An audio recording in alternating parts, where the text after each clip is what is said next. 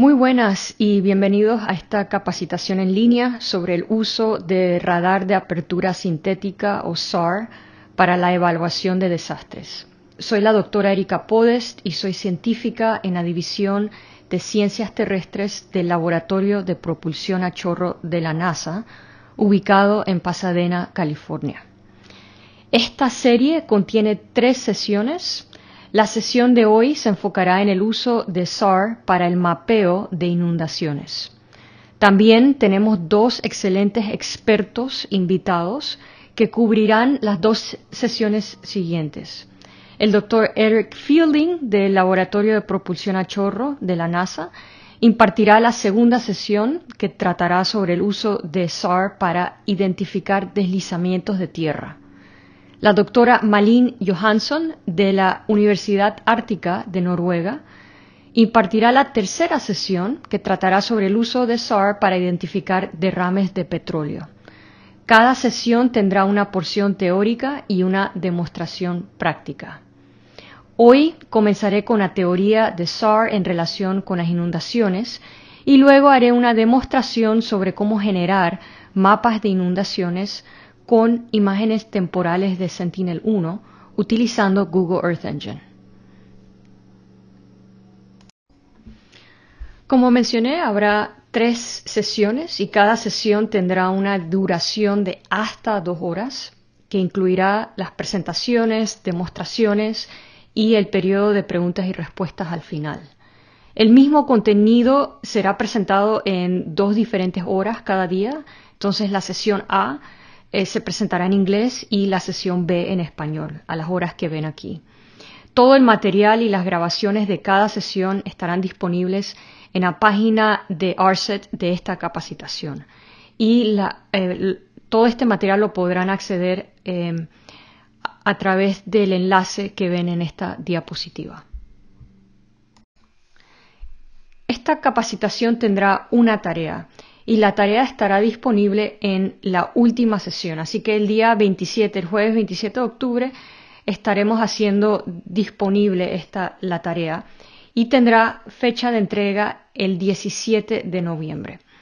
Las respuestas deben de enviarse a través del formulario de Google eh, en el que viene la tarea y se le otorgará un certificado de finalización a quienes asistan a todas las sesiones en vivo y completen la tarea antes o en la fecha indicada.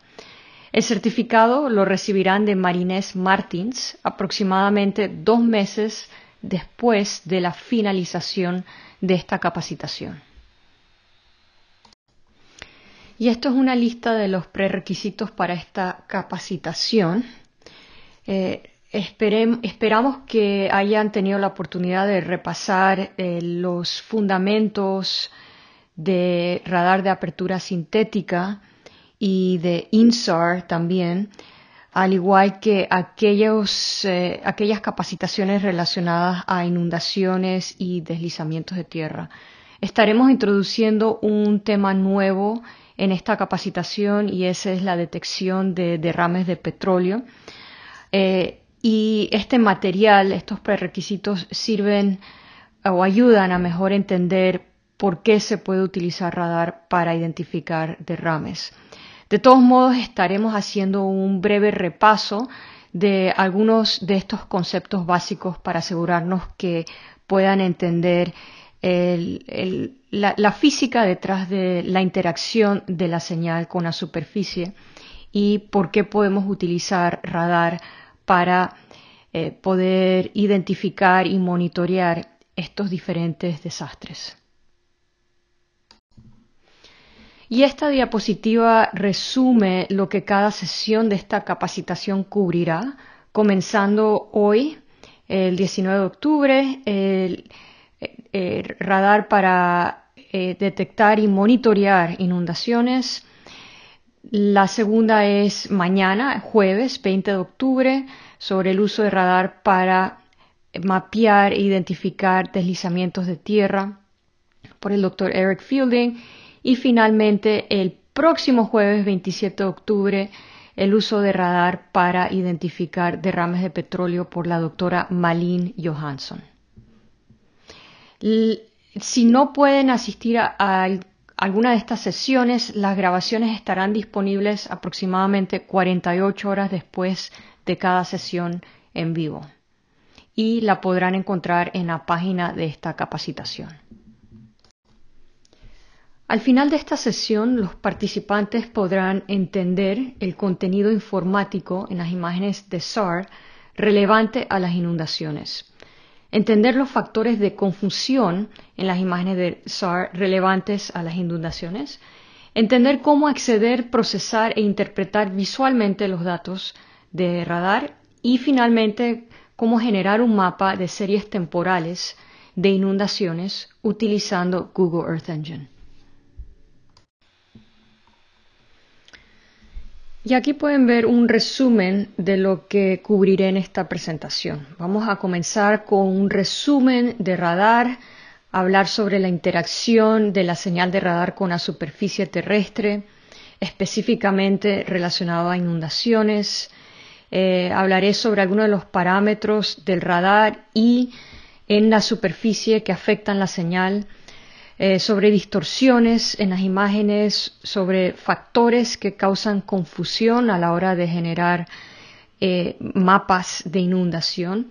Y finalmente hablaré sobre los datos de radar que están disponibles eh, por medio de diferentes fuentes. Después pasaremos a la demostración, cómo generar una eh, cómo generar mapas de inundación utilizando una serie temporal de imágenes de radar. Comenzaremos definiendo el área de interés, visualizando los datos y finalmente generando un mapa de, o mapas de inundación. Comenzamos con un resumen de radar de apertura sintética. Comencemos por el espectro electromagnético, que es la gama de energía electromagnética que abarca desde longitudes de onda muy largas hasta longitudes de onda muy cortas. La mayoría de los sensores de teledetección están diseñados para operar en regiones específicas del espectro electromagnético, según los objetivos que desean alcanzar. Los sensores de microondas operan dentro del rango delineado en esta figura, que se encuentra en una frecuencia mucho más baja o en un rango de longitud de onda más largo que los sensores ópticos e infrarrojos.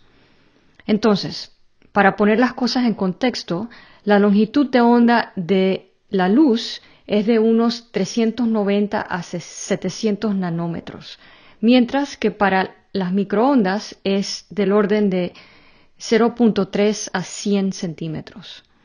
Debido a esta enorme diferencia en las longitudes de onda, las características de la superficie de la Tierra aparecen eh, o se manifiestan de forma diferente en el rango de microondas que en el rango óptico. Así que el contenido es fundamentalmente diferente, esta información entre imágenes ópticas e imágenes de radar. Las ventajas de utilizar radar es que se puede observar la superficie terrestre bajo casi cualquier tipo de condición meteorológica y de día o de noche. Las imágenes ópticas tienen limitaciones cuando hay nubes o cuando es de noche. La señal de radar puede penetrar un medio, lo cual puede ser la vegetación, el suelo o la nieve, la magnitud de esa penetración la explicaré más adelante. En comparación, las imágenes ópticas nada más contienen información sobre la parte superior del medio, digamos, la parte superior del, dosel de la vegetación. Otra ventaja es que con radar no hay que hacer correcciones atmosféricas. Con imágenes ópticas las correcciones atmosféricas son críticas para tener una interpretación adecuada.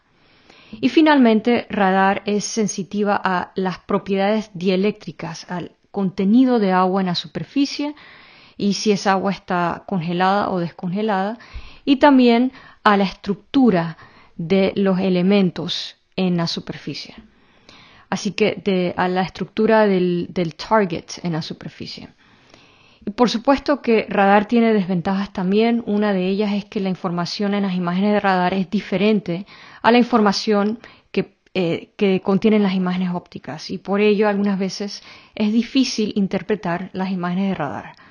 También que las imágenes de radar se caracterizan por la presencia de speckle o el moteado, el cual es un efecto granular tipo sal y pimienta, y eso dificulta la interpretación de las imágenes. Y finalmente, la presencia de topografía introduce ciertas distorsiones que hay que eh, corregir. En la teledetección hay dos tipos generales de observaciones pasiva y activa. Los sensores pasivos miden la energía emitida o reflejada por la Tierra y o la atmósfera. Y ejemplos de sensores pasivos son los sensores ópticos y térmicos. También hay sensores pasivos de microondas y aquellos se les llaman radiómetros. Miden la energía emitida de un medio en el rango de microondas del espectro electromagnético. Los sensores activos proveen su propia luz o iluminación y ejemplo de ellos son lidars y radares. Los radares son análogos a los ultrasonidos. Un instrumento emite una ráfaga de, de, energía, la cual llamaremos la señal, y ese mismo instrumento mide la porción de la señal que es reflejada de vuelta. La teledetección activa en el rango de microondas se le llama teledetección de radar. Un radar es esencialmente un instrumento que mide distancia. Y hay dos categorías de radares. Los radares que forman imágenes, en inglés es imaging radar, y aquellos que no forman imágenes, non-imaging radar. Por ejemplo, un altímetro. SAR son radares de formación de imágenes. Y estos radares se caracterizan por mirar hacia el lado en vez de directamente hacia abajo. Si el radar estaría mirando directamente hacia abajo, como en la figura izquierda, no se podría diferenciar entre dos puntos diferentes en la superficie, en este caso el punto A y el punto B.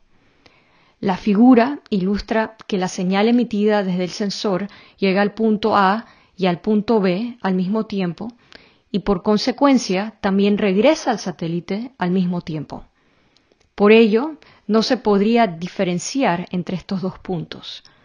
Pero si el radar está montado de lado, como en la figura a la derecha, el tiempo que le toma a la señal llegar al punto A es diferente al tiempo que toma llegar al punto B. Y por ello estos dos puntos en la superficie se pueden diferenciar. Un radar consiste fundamentalmente en un transmisor, un recibidor, una antena y un sistema electrónico para grabar y procesar los datos recolectados. El transmisor genera pulsos de microondas en intervalos regulares, los cuales están proyectados por la antena en una forma de abanico. El radar ilumina la superficie oblicuamente en relación a la dirección de desplazamiento de la plataforma. La antena recibe una porción de la energía reflejada o retrodispersada, backscatter en inglés, de varios objetos dentro del área iluminada. Al medir el tiempo que demora entre la transmisión del pulso y la recepción de la señal retrodispersada de diferentes objetos, entonces se puede determinar la distancia y ubicación de los objetos en la superficie. A medida que el sensor se propaga hacia adelante, se crea una imagen de dos dimensiones de la superficie al grabar y procesar la señal retrodispersada. No cubriré los detalles matemáticos sobre la formación de las imágenes de radar, pero en resumen, la resolución del radar en la dirección de movimiento, en inglés el, azimuth direction, y la resolución en la dirección a través de la franja de iluminación, el across track o range, son definidas por parámetros diferentes. La resolución de rango o across track depende del largo del pulso y la resolución en la dirección de movimiento o el long track resolution de la plataforma es determinada por el ancho de banda, el cual es inversamente proporcional al largo de la antena, también referido como la apertura de la antena lo cual significa que una antena más larga producirá un ancho de iluminación más angosto y una resolución más alta. Ahora, ya que es difícil tener antenas muy largas en el espacio, se puede sintetizar una utilizando el movimiento de la plataforma, el satélite o el avión, para simular una antena más larga y por ello se llama radar de apertura sintética porque permite imágenes de alta resolución con pequeñas antenas y por medio del procesamiento del cambio en Doppler asociado con el movimiento de la plataforma. El sensor nada más mide la parte de la señal que fue retrodispersada de vuelta a la antena. La mayoría de los radares miden la amplitud y la fase de la señal. Amplitud es la intensidad de la señal retrodispersada. Es el coeficiente retrodispersado, también conocido como sigma naught, el cual es la fracción de la energía incidente dispersada de vuelta a la antena comparada a la energía incidente sobre el objeto, y es normalizada de acuerdo al área. Sigma naught es expresada en decibeles, tomando el logaritmo de 10 de la fracción de energía. Y usualmente los valores varían desde menos 40 a 1 o 5 decibeles. La fase es la posición de un punto en el tiempo de un ciclo de onda. La fase es usualmente medida en unidades angulares o en radianes. Es la diferencia en fase entre dos imágenes es una nueva clase de imagen llamada interferograma. Y la sesión de mañana utilizará interferogramas para medir pequeños movimientos en la Tierra debido a, eh, que, pueden eventualmente causar grandes deslizamientos. En la siguiente parte hablaré sobre la interacción de la señal de radar con la superficie terrestre. Comenzaré definiendo la palabra inundación desde una perspectiva de radar y se refiere a dos cosas diferentes. Una es la presencia de una superficie de agua debajo de la vegetación, o sea, vegetación inundada. Eh, y esto puede ser un bosque o agricultura. Así que cuando me refiero a un bosque inundado, significa que debajo de la vegetación hay agua sobre la superficie del suelo, como pueden ver en la figura en la izquierda superior. En áreas agrícolas o herbáceas, las hojas o tallos de las plantas emergen visiblemente sobre la superficie del agua, como en la figura central inferior. El radar, o sea, el otro caso es que el radar puede detectar inundaciones donde no hay vegetación y en esos casos, como en la figura eh, superior derecha, eh, en esos casos eh, le llamo agua abierta. Algo que deben de recordar es que el radar solo detecta eh, agua sobre la superficie, pero no la cantidad de agua sobre la superficie. Así que no habría diferencia en, eh, lo que indica el radar si hay un centímetro de agua sobre la superficie o si hay 10 metros de agua sobre la superficie. La, la, la señal de radar indicará lo mismo, o sea, la respuesta del radar indicará lo mismo. Aquí tenemos un repaso de los mecanismos de retrodispersión del radar en general. La figura en el extremo izquierdo demuestra una superficie lisa, también conocida como superficie de reflexión especular. La mayor parte de la energía incidente es reflejada en dirección opuesta al radar, hacia la derecha, y por ello estas áreas aparecen oscuras. Agua sin vegetación es un ejemplo de un reflector especular. El siguiente tipo de dispersión es la dispersión de, la superficie, de una superficie rugosa, que se produce cuando hay algún nivel de rugosidad en la superficie que hace que la señal se disperse en diferentes direcciones, principalmente en dirección opuesta al radar. Estas áreas aparecen oscuras en la imagen, pero no tan oscuras como una superficie completamente lisa. Un ejemplo sería una superficie de agua abierta con cierto nivel de rugosidad causada por el viento, lluvia fuerte o vegetación muy muy baja, flotante.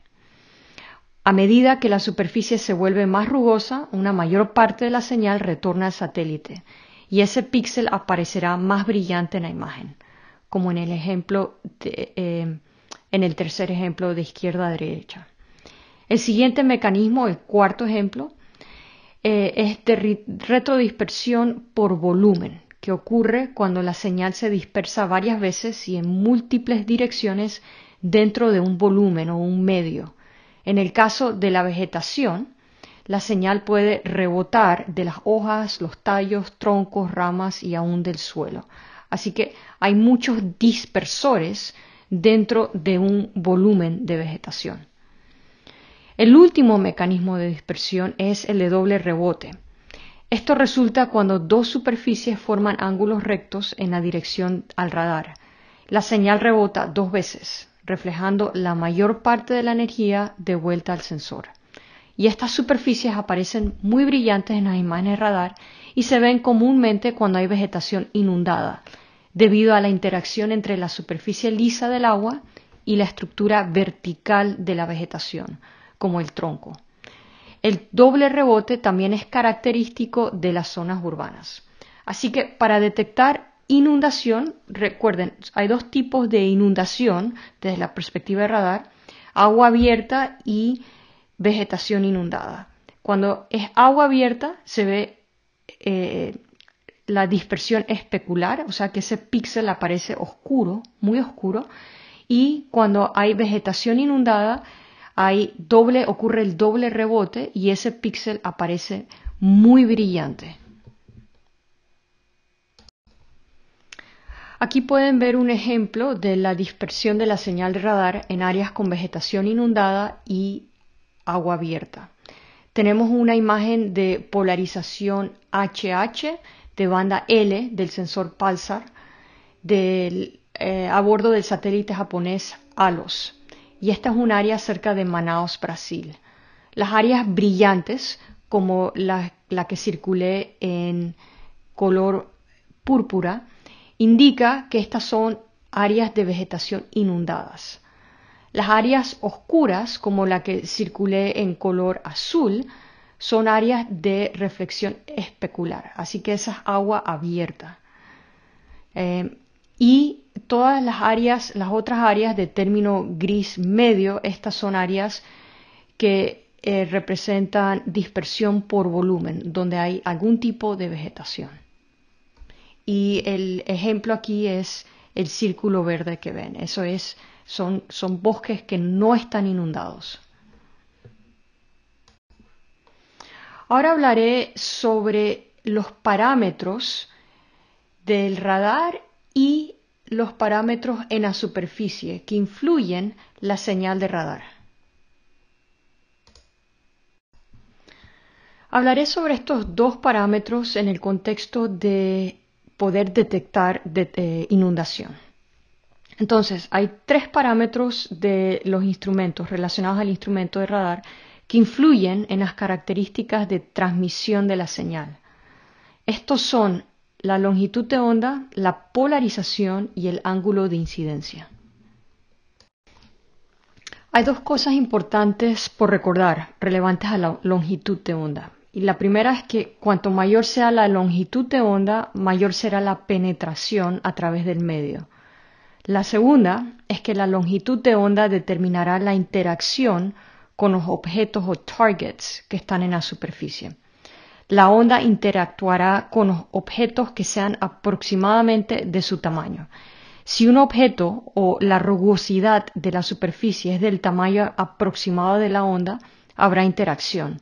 La superficie tendrá una apariencia rugosa y habrá entonces energía dispersada. Por ejemplo, si una onda de banda L de alrededor de 24 centímetros interactúa con una superficie que tiene fluctuaciones de altura de alrededor de 5 centímetros, habrá una dispersión mínima o nula con esa superficie. Para la señal de banda L, esa superficie aparecerá lisa y en la imagen ese píxel será oscuro. Sin embargo, si la señal que interactúa con esa superficie es una señal de banda C, con una longitud de onda de alrededor de 5 centímetros, esa superficie aparecerá brillante debido al aumento de retrodispersión. La figura de la izquierda muestra el grado de penetración a través de diferentes medios con diferentes bandas. los sensores de banda X en general tienen una penetración limitada a través de la vegetación densa. Sin embargo, algunos estudios han demostrado el potencial de la banda X para identificar vegetación inundada, en el caso de vegetación que tenga muchas brechas o durante las condiciones de ausencia de hojas. En este caso, la transmisividad de la señal a través del dosel incrementa debido a las brechas en el dosel o a una biomasa muy baja y entonces la contribución del doble rebote domina la dispersión por volumen. La banda C penetra más, mientras que la banda L aún más. La banda L es la más indicada para detectar la vegetación inundada que, eh, con, una, con alta biomasa, mientras que la banda C es la más indicada para detectar vegetación inundada corta, con baja biomasa, como por ejemplo arroz o otros cultivos. Aquí pueden ver un ejemplo de la penetración de la señal a través de la vegetación para detectar inundaciones. Y aquí tenemos imágenes eh, de múltiples frecuencias, bandas C, L y P, obtenidas del radar eh, aéreo llamado AirSAR, que es un radar del JPL, del centro donde yo trabajo. Esta zona es el Parque Nacional de Manú en Perú y estas imágenes fueron adquiridas en 1993. La banda C tiene una longitud de onda de unos 5 centímetros, L de unos 24 centímetros y la banda P de alrededor de 60 centímetros. Y como es de esperar, la longitud de onda más larga penetra más profundamente a través de la vegetación y es más eficiente en detectar vegetación inundada. O sea que vemos más áreas brillantes en la banda P que en la banda L y mucho más aún en la banda, que en la banda C. La polarización se refiere al plano de propagación del campo eléctrico de la señal, que puede estar en el plano horizontal o en el plano vertical. Independientemente de la longitud de onda, las señales de radar se pueden transmitir y o recibir en diferentes modos de polarización. Entonces pueden haber cuatro combinaciones de polarizaciones de transmisión y recepción. Estas son HH, o sea, transmitidas en el plano horizontal y recibidas en el plano horizontal, BB, transmitidas en el plano vertical, recibidas en el plano vertical, y las polarizaciones cruzadas HV y VH. Polarización también tiene una influencia sobre la profundidad de la penetración de la señal. En bosques, HH tiende a penetrar más profundamente a través de la vegetación y es es menos sufre menos atenuación que BB. Así que HB em, tiende a ser eh, un mejor indicadora de la presencia de vegetación, ya que HB es más eh, eh, responde a diferentes dispersores dentro de en la superficie terrestre. Así que si digamos ocurre la dispersión por volumen, eh, hay una alta probabilidad de que la señal se depolarice, o sea, que cambie de polarización de H a V, ¿no? o de V a H. Y esto ocurre cuando hay dispersión por volumen, cuando hay muchas interacciones de la señal.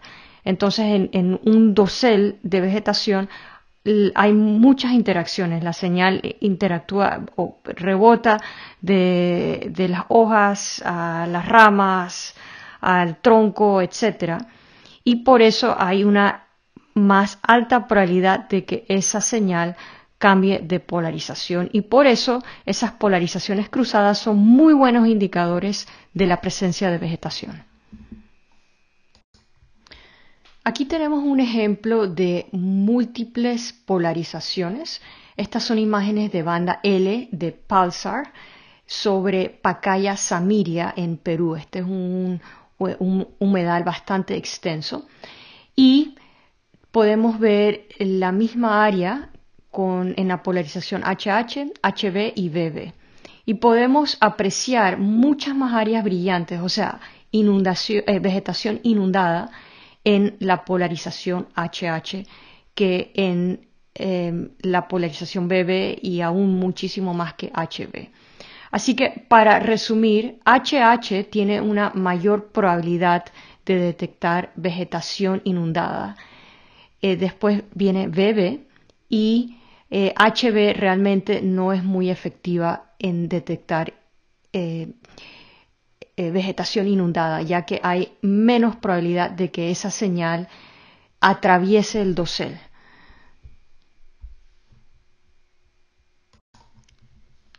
Y aquí tenemos un ejemplo de diferentes polarizaciones para detectar agua abierta. Eh, esta es la banda L, HH, HB y BB. Podemos ver que HB es, mm, el agua abierta en la polarización HB es mucho más oscura y realmente HB es mejor para detectar agua abierta porque la señal no se depolariza en superficies especulares.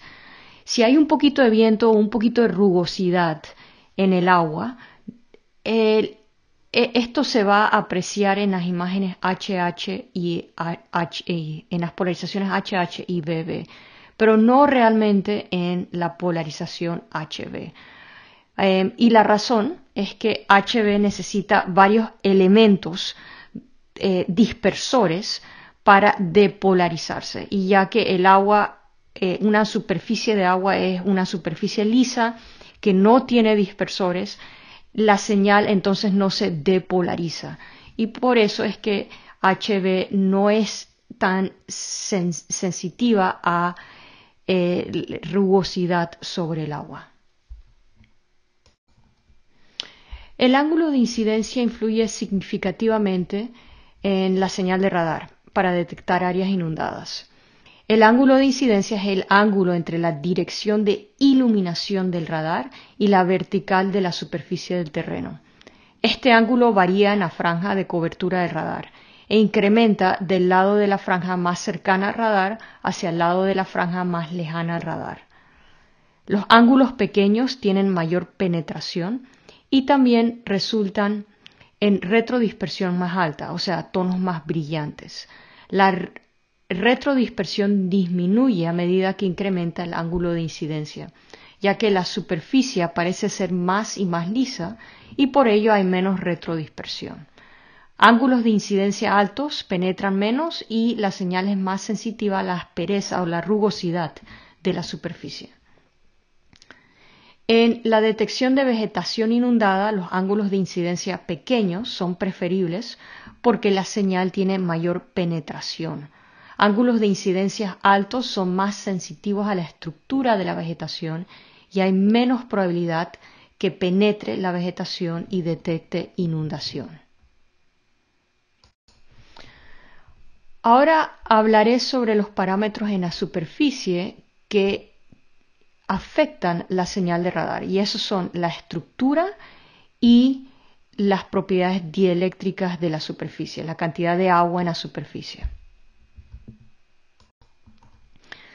Hay tres parámetros relacionados con la estructura. Esa es la densidad, el tamaño en relación con la longitud de onda y la orientación. El tamaño de la estructura determinará si la superficie es rugosa o lisa. Una superficie lisa aparecerá más oscura y las superficies rugosas aparecerán más brillantes. El tamaño y la orientación influyen en la interacción de las ondas que están polarizadas horizontal o verticalmente. Y finalmente, la densidad de los dispersores también influirá en la intensidad de la señal, que será más fuerte cuando los dispersores estén más juntos. Aquí tenemos un ejemplo de tamaño en relación a la longitud de onda. Entonces, si tenemos un pino y utilizamos la banda X para observar ese pino, esa banda es alrededor de 3 centímetros, entonces estaremos observando las agujas principalmente.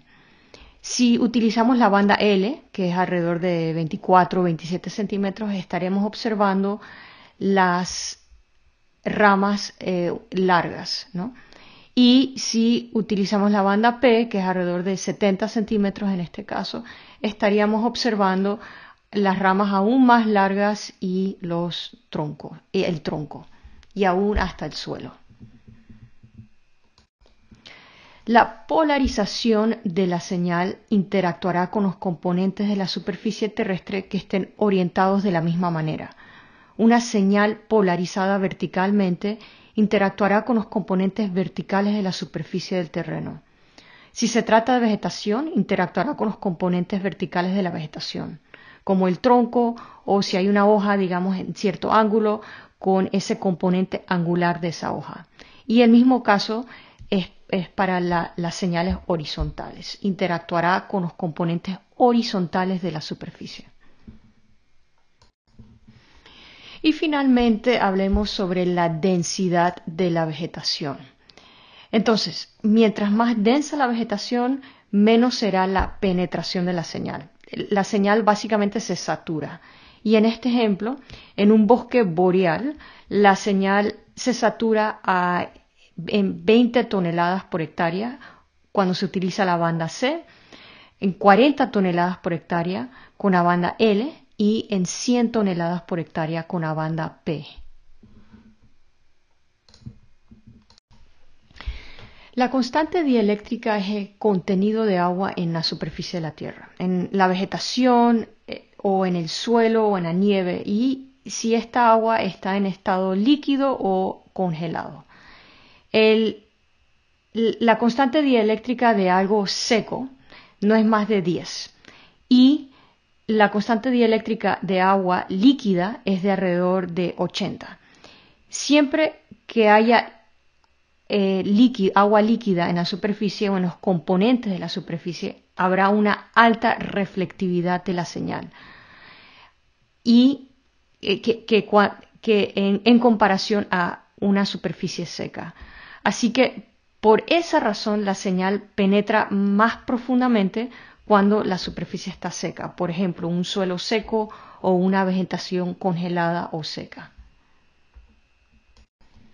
Ahora hablaré sobre los efectos de topografía en las imágenes de radar y sobre el moteado o speckle.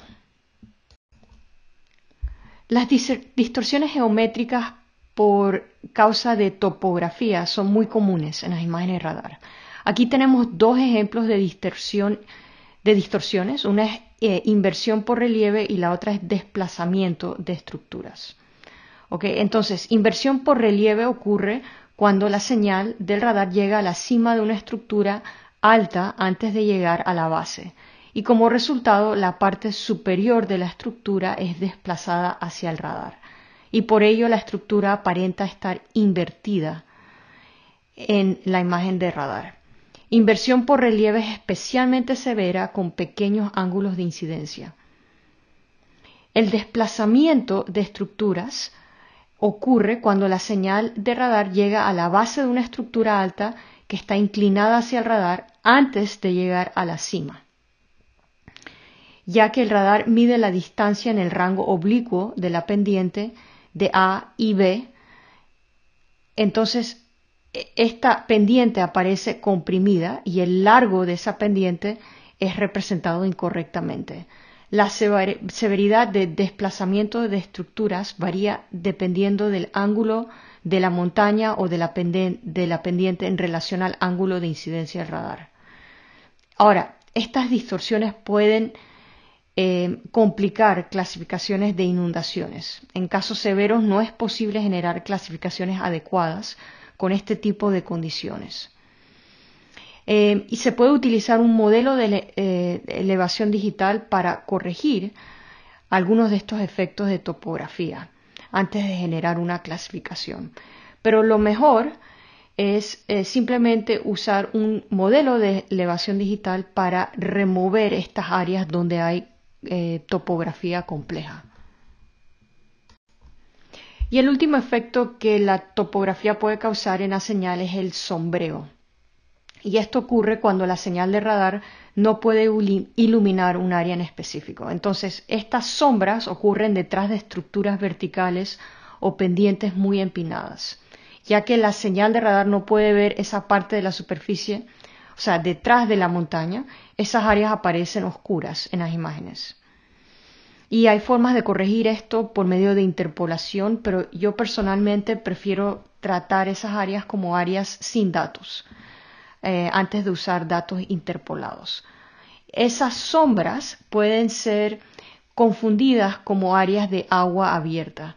Así que em, una forma de em, solucionar en parte este problema es utilizando un modelo de elevación digital para eliminar áreas de topografía compleja.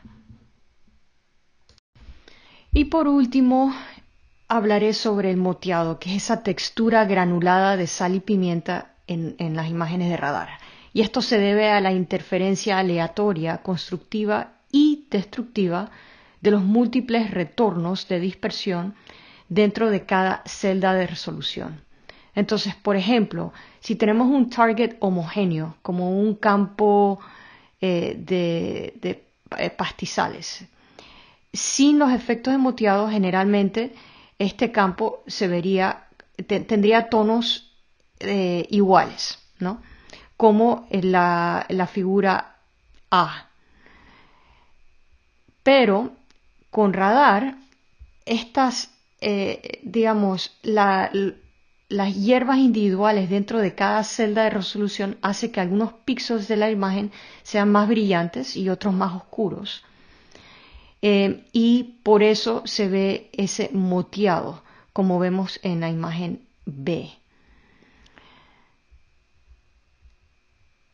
Em, ahora, este moteado, estas variaciones en textura, pueden ser reducidas y una forma de reducirla es utilizando un filtro.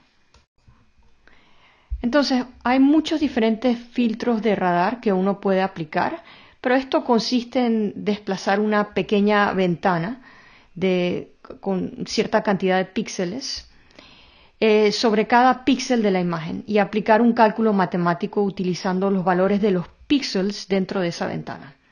Y sustituir entonces el píxel central por el nuevo valor y la ventana entonces se desplaza o la desplazan a lo largo de las dimensiones de la imagen em, hasta cubrir toda la imagen.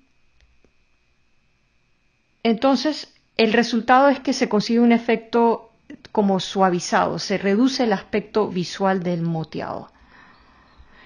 Pero el problema de utilizar un filtro es que eh, al reducir el moteado también reduce la resolución espacial.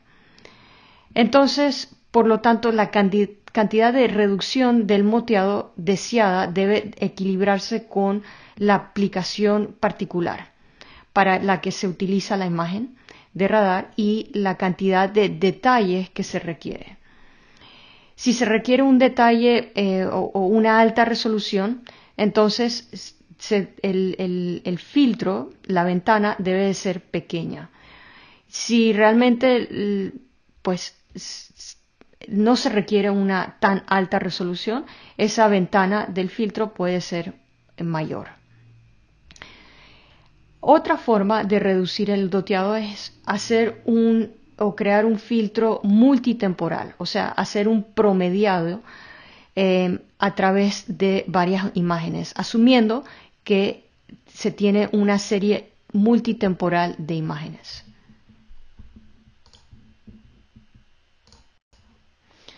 Ahora hablaré brevemente sobre algunos de los factores que pueden causar confusión a la hora de mapear áreas inundadas utilizando radar. Una de las fuentes de, confusión al identificar eh, o clasificar agua abierta es vegetación baja. Ambas se caracterizan por ser superficies lisas y pueden ser difíciles de distinguir. Y por lo general las zonas con poca vegetación eh, tienden a tener cierto nivel de rugosidad y una retrodispersión ligeramente superior a la de una superficie lisa como aguas abiertas. Pero a veces las superficies de agua pueden tener cierta rugosidad debido al viento, lo que entonces crea esta confusión con zonas o áreas donde hay poca vegetación.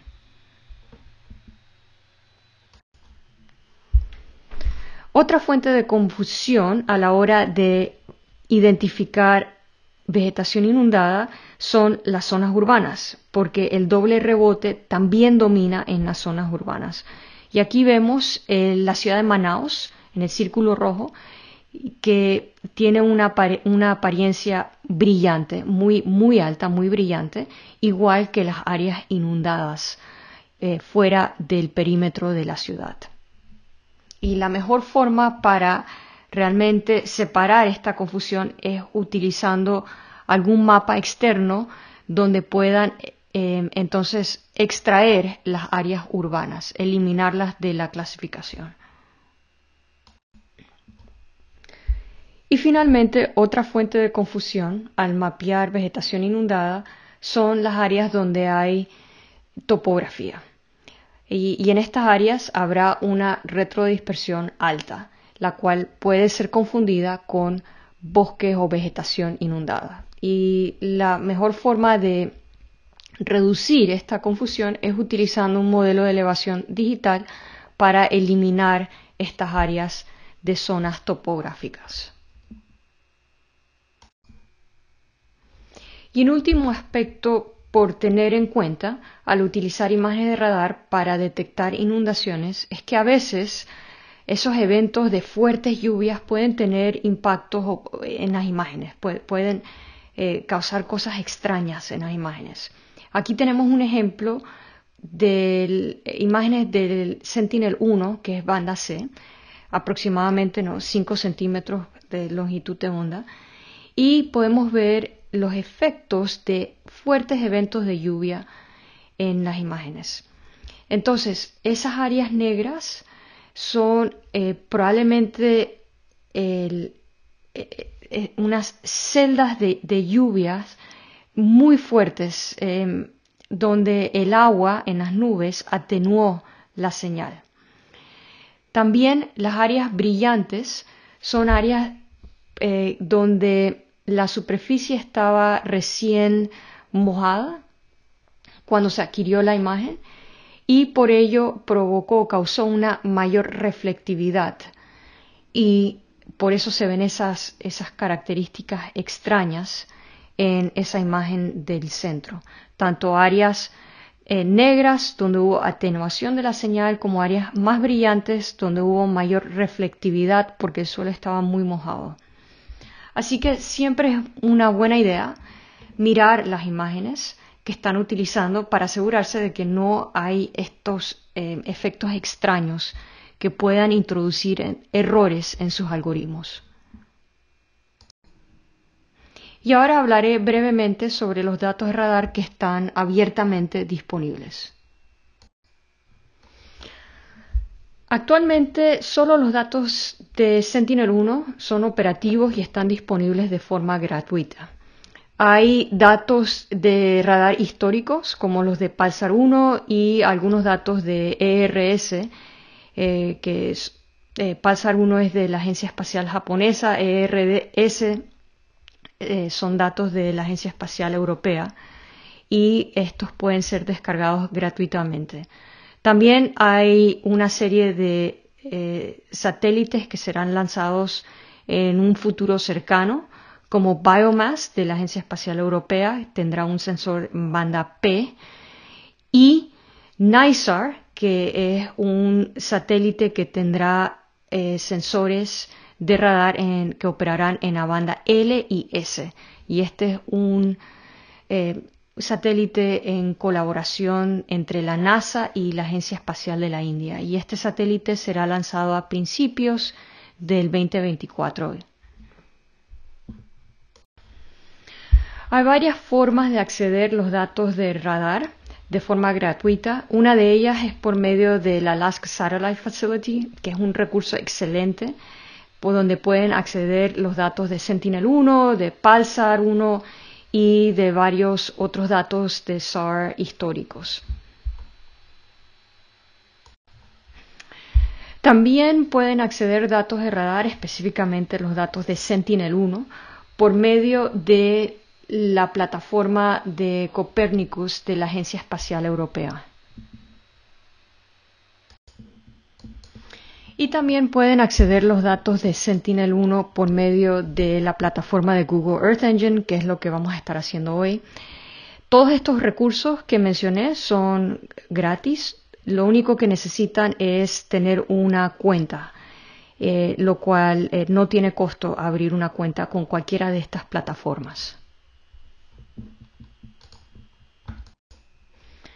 Entonces, en general, los pasos de procesamiento para que los datos de SAR estén listos para ser analizados son los siguientes. Hay que aplicar una calibración radiométrica, después una corrección geométrica utilizando un modelo de elevación digital y finalmente se le aplica un filtro de moteado de speckle.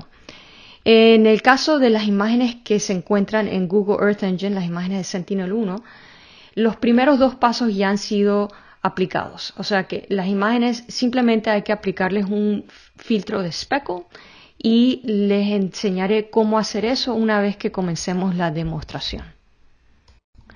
La demostración estará enfocada en generar mapas de inundación utilizando imágenes multitemporales de Sentinel-1 y para ello estaremos utilizando Google Earth Engine. Google Earth Engine es una plataforma de procesamiento geoespacial en la nube. Está disponible para científicos, investigadores y desarrolladores para estudios de nuestro planeta.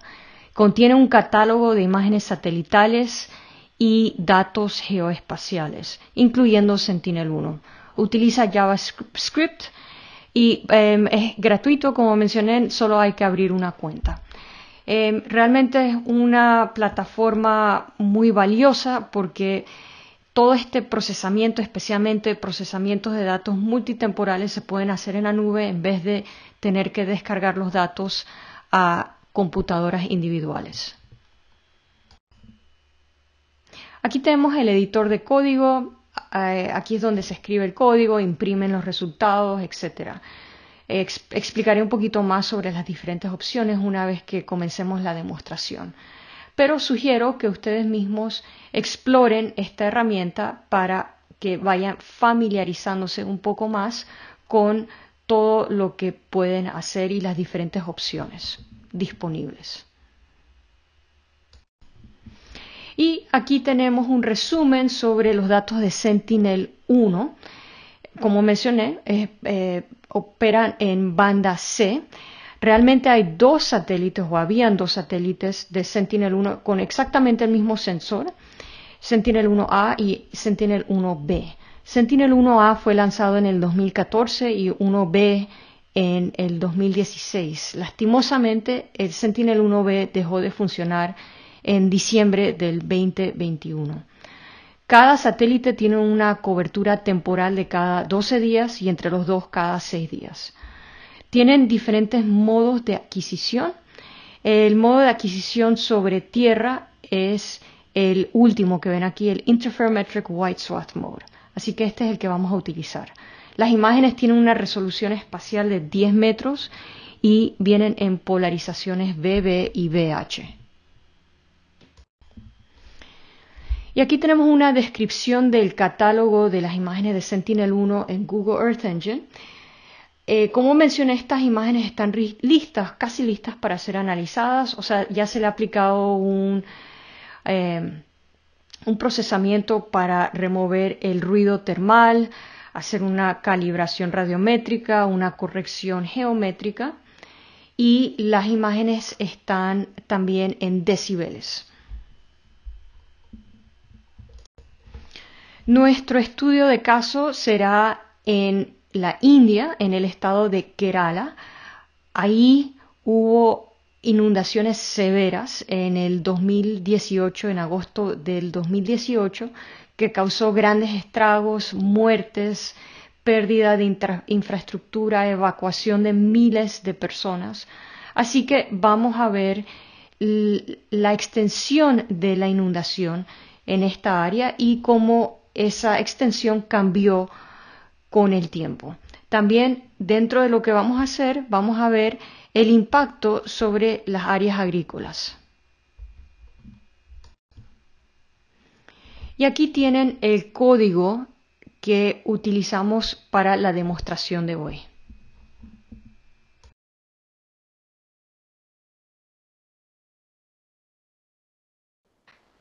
Ok, entonces comenzamos nuestra demostración. Vamos al Google Earth Engine Code Editor. Así aquí, estamos. Y les explico brevemente eh, cómo está estructurado. Esto aquí en la parte izquierda hay una ventana scripts. Aquí tengo todos mis códigos. Aquí pueden guardar todos sus códigos. Eh, docs, básicamente este es un diccionario que tiene Google Earth Engine, donde ustedes pueden buscar y obtener más información sobre cualquiera de las funciones que, eh, que son parte de la programación en Google Earth Engine. Así que, por ejemplo, si están usando algún clasificador, vamos a decir Random Forest, hacen una búsqueda de Random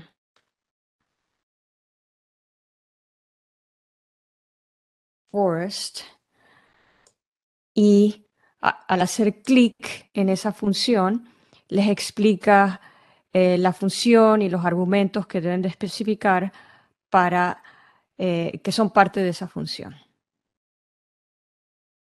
Entonces, bajo Assets, aquí pueden subir sus propios archivos, tanto archivos en formato raster como en formato shapefile o CSV. Así que eso es para aquellas personas que tengan sus propios eh, archivos o productos que quieran subir a Google Earth Engine. Aquí en el centro es donde tenemos nuestro código y aquí en la parte derecha, en la ventana derecha, tenemos eh, Inspector. Inspector es, ustedes, si ustedes hacen clic en cualquier parte de, de algún mapa, digamos, aquí en Inspector va a salir el valor de ese píxel donde hicieron clic. Em, y también en la consola aquí pueden imprimir los resultados del análisis que están haciendo aquí en, el centro. Y bajo Tasks, aquí es donde eh, comienzan, el, eh, digamos, eh, descargan imágenes al Google Drive. Y todo esto lo demostraré con más detalle durante esta demostración. Ahora, el objetivo de esta demostración es mapear inundación a través del tiempo. Así que para ello hemos eh, usado imágenes, varias imágenes sobre nuestra área de interés. Nuestra área de interés es el estado de Kerala en la India. Ahí ocurrieron eh, extensas y severas inundaciones en agosto del 2018 y eh, esto causó grandes estragos. Así que vamos a utilizar cuatro diferentes imágenes de radar, eh, una que consideramos pre-evento y tres las cuales consideramos post-evento. Y vamos a mapear utilizando un umbral eh, cada imagen la vamos a, mapear, vamos a, mapear la extensión de inundación en cada imagen utilizando un umbral y determinar cuál es esa extensión de inundación y cómo ha cambiado esa extensión de inundación a través del tiempo. Ahora, em, hay cosas adicionales aquí en este código. También vamos a determinar el área de cultivos que ha sido afectada por estas inundaciones. Y también al final vamos a, eh, pues hay, código extra para añadir eh, una descripción de los resultados y una leyenda, etcétera, para, para hacer el, producto generado un poco más eh, completo y estético. así que, pues comenzamos y lo primero que hacemos es definir nuestra área de interés. Ok, entonces ya yo la tengo definida aquí y aquí está, acá abajo. Pero para definir el área de interés, lo que hacen es que van a Geometry Imports seleccionan New Layer y seleccionan ya sea eh, este icono o este, eh, dibuje un polígono o un rectángulo. Así que vamos a seleccionar este y básicamente eh, lo que deben de hacer es seleccionar el área de interés. Ahí estamos. Entonces después van, hacen clic aquí y le cambian el nombre de Geometry a, en este caso estamos llamando el área de interés ROE o I, región, Region of Interest en inglés, región de interés. ¿Ok? No lo voy a hacer porque esto es algo que ya lo tengo, pero así es como se define el área de interés y ese es el Region of Interest. También lo que pueden hacer, y aquí lo tengo en el código como opcional, es utilizar un shapefile para definir el área de interés. Entonces, lo que deben de hacer es descomentar aquí para entonces utilizar el shapefile para eh, simplemente delinear todo el estado de Kerala en la India ¿no? y hacer el análisis sobre el estado completo. Aquí hemos nada más identificado parte del estado. Y así entonces ustedes pueden usar este shapefile para definir, digamos, em, eh, algún estado en específico de su propio país o también pueden dibujarlo o, como quieran, pueden también utilizar su propio shapefile para definir su área de interés. Así que vamos a comentar esto. Lo próximo que vemos aquí es em, utilizar el terreno como el, mapa de base en Google. Así que para activar esa opción utilizamos este comando. Así que con ese comando entonces podemos ver la topografía del terreno, eh, lo cual es útil para más o menos entender eh, si estamos haciendo un análisis en un área topográficamente compleja. Entonces, lo próximo que hacemos aquí es, eh, hacer una búsqueda en el archivo de las imágenes de Sentinel-1. ¿Ok? Así que tenemos que llamar esa base de datos de Sentinel-1 y aquí es, aquí es como llamamos o eh, accedemos esa base de datos de Sentinel-1.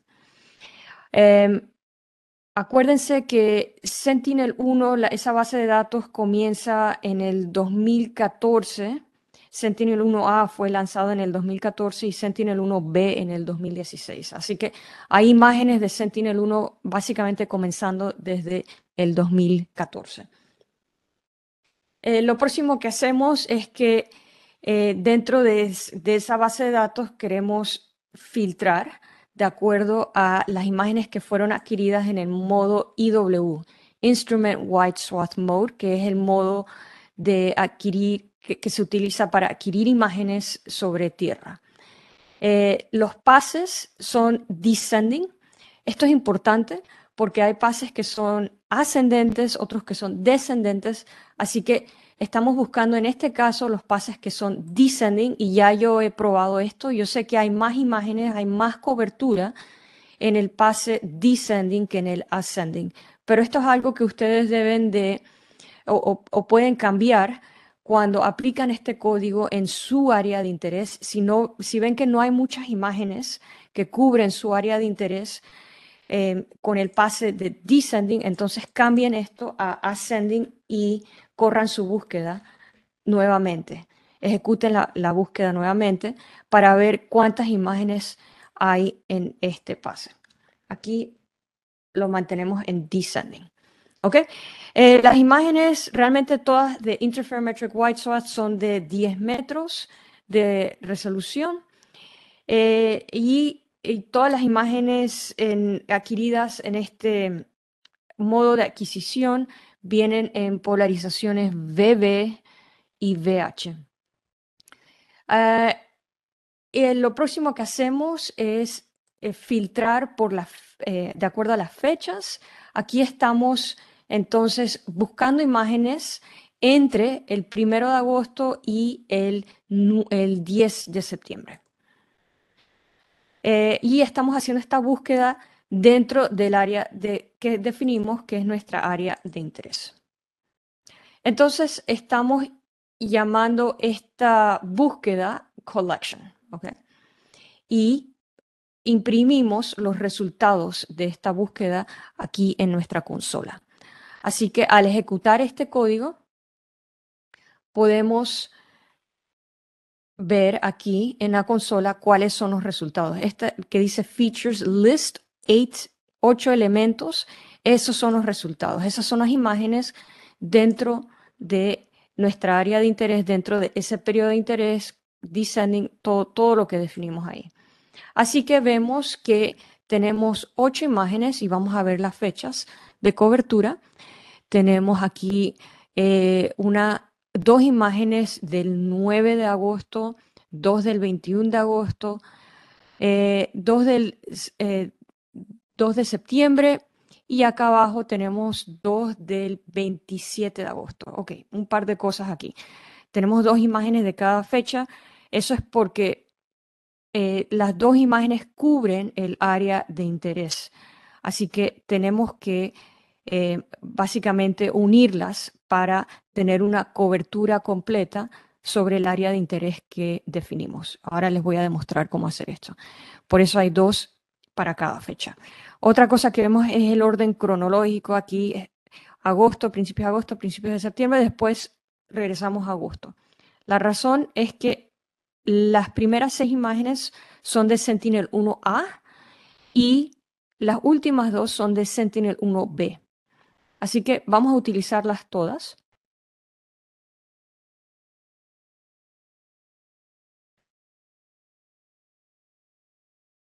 Y lo que hacemos aquí es que básicamente hacemos una lista de todas esas imágenes dentro de nuestra búsqueda y eh, identificamos, vamos a, crear un mosaic de cada eh, de las imágenes que cubren cada fecha. Así que aquí agarramos la primera imagen y la segunda imagen en nuestra, lista. Esta es la primera imagen, la número 0, y esta es la segunda imagen, la número 1. Así que las estoy llamando imagen 1, imagen 2. Las estoy mosaicing eh, utilizando este código. Así que estamos mosaicing imagen 1, imagen 2. Y le estamos llamando agosto 9, porque esas son las imágenes de agosto 9. Hacemos lo mismo para las imágenes de agosto 21, de agosto 27 y de septiembre 2. ¿Ok? Entonces, lo próximo que hacemos es visualizar estas imágenes. Siempre es bueno eh, visualizar cada paso del código. ¿no? Entonces, tenemos que añadir esas imágenes aquí a esta barra de layers para poder visualizarlas. En este caso, lo que estamos identificando, lo que vamos a identificar es eh, lo que yo en la presentación llamé agua abierta, open water, o sea, agua donde no hay vegetación sobre el agua, no, no es vegetación inundada. Em, ahí sería doble rebote. En este caso estamos buscando áreas de reflexión especular. Y VH es una eh, polarización más adecuada para identificar eh, áreas de reflexión especular, áreas de agua, eh, lo que le, llamamos, le llamo agua abierta, agua sin vegetación. Okay, así que vamos a utilizar la polarización VH en este análisis. Y añadimos cada imagen a la barra Key Layers. Aquí es como lo hacemos. y aquí especificamos el nombre que debe de aparecer en Layers. Así que vamos a visualizar esas imágenes. Esta es la de...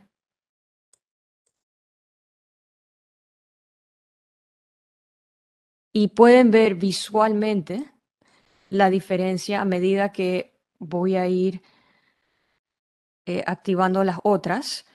La primera es de, del 9 eh, de agosto eh, antes de las fuertes lluvias.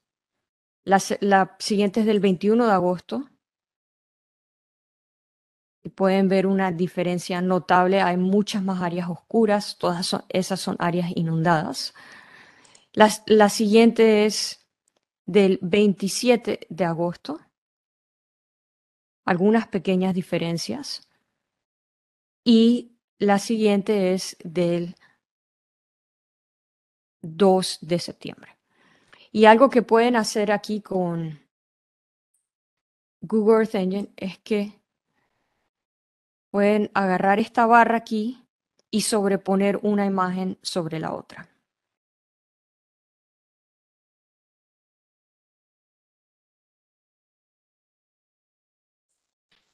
Ok. Otra cosa que he hecho aquí es que he creado una imagen RGB con tres diferentes fechas aquí. Así que realmente creé dos imágenes RGB. La primera contiene las fechas agosto 9, agosto 21 y agosto 27. Y la segunda eh, contiene agosto 21, agosto 27 y septiembre 2. Y las he nombrado de acuerdo a las fechas. Así que vamos a ver esas imágenes RGB. Y, lo bueno de estas imágenes RGB es que los colores pues representan lo que eh, eh, el cambio que ocurrió en esa eh, imagen específica. Así que em, lo que vemos en rojo significa que en es, lo que está en el canal rojo era, tenía un valor, una retrodispersión más alta que lo que está en el canal eh, verde y azul. ¿Ok? Así que lo que está en rojo, estamos viendo esta imagen de agosto 9, agosto 21 y agosto 27. Así que todo lo que está en rojo significa que eso está inundado en las otras dos fechas. ¿Ok? Era eh, brillante, eh, tenía una alta retrodispersión en el 9 de agosto, pero baja retrodispersión el 27, el 21 y el 27 de agosto. Y así, si ven algo que es verde, digamos, significa que la retrodispersión eh, de la imagen que está en el canal verde era más alta que la retrodispersión en las otras dos fechas. Igual, mismo interpretan azul. Los colores, eh, digamos, estos colores rosados, significa, rosado es una combinación entre rojo y azul, significa que la retrodispersión era igualmente de alta en las imágenes que están dentro del canal rojo y dentro del canal azul. Así que era baja en el canal verde.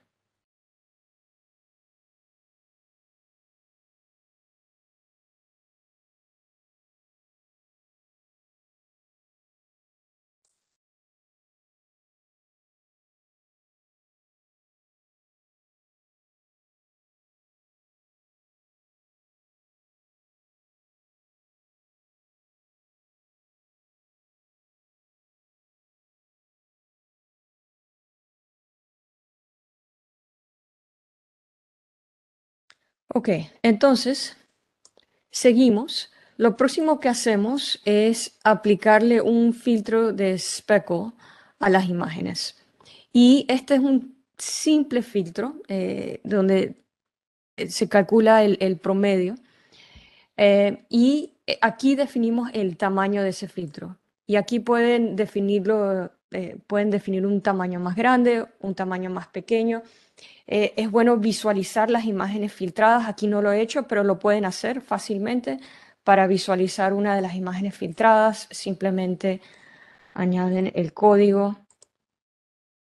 Y acuérdense que mientras más filtran la imagen, más reducen el speckle, pero también pierden resolución espacial.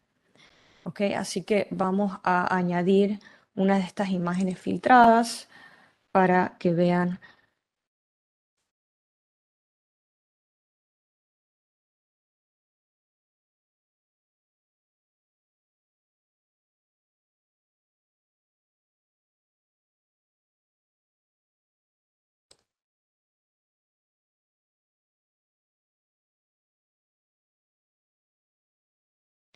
Vamos a ver la diferencia entre la imagen no filtrada y la filtrada.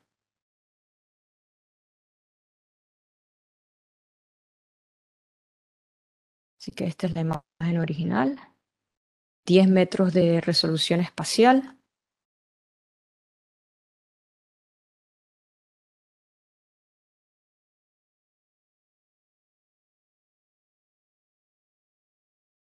Y esta es la imagen filtrada.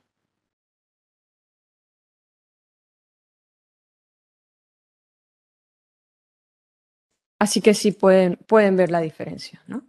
Hay una reducción en eh, el speckle, pero también hay una reducción en la resolución espacial.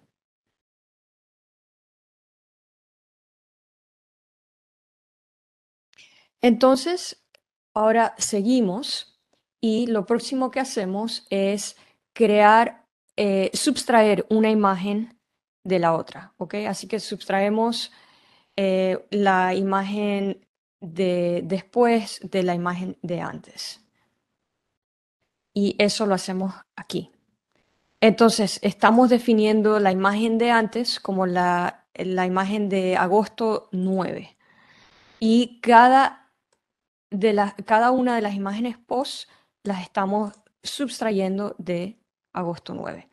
Ahora, una de las cosas que deben de eh, entender, tener en cuenta, tomar en cuenta es que aquí estamos dividiendo y la razón que estamos dividiendo es porque los valores de los píxeles de las imágenes de Sentinel-1 ya están en dB, en decibeles, y estos son valores logarítmicos y por ello al hacer una, al subtraer valores logarítmicos hay que dividir.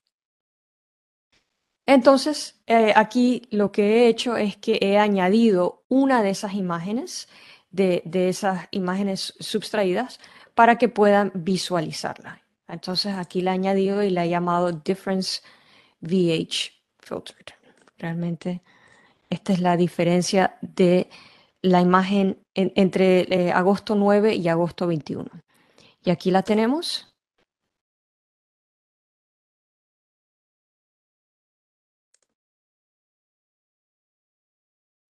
Entonces, eh, lo que pueden ver, las áreas que son brillantes son las áreas donde ha habido, ha ocurrido una diferencia, un, cambio entre esas dos imágenes, dos imágenes, donde hay, realmente son las áreas donde ha ocurrido em, inundación.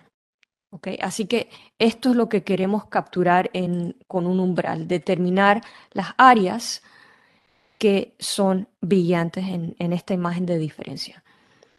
Y pueden entonces hacer clic sobre cualquier eh, punto en esta imagen. Aquí vamos a hacer clic sobre una de las áreas brillantes para ver cuál es el valor. Si vamos a Inspector, podemos ver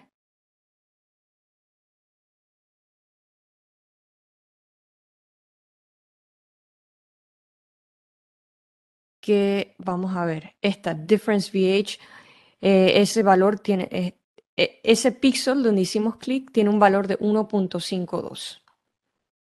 Vamos a hacer clic en otro píxel. Hacer clic aquí.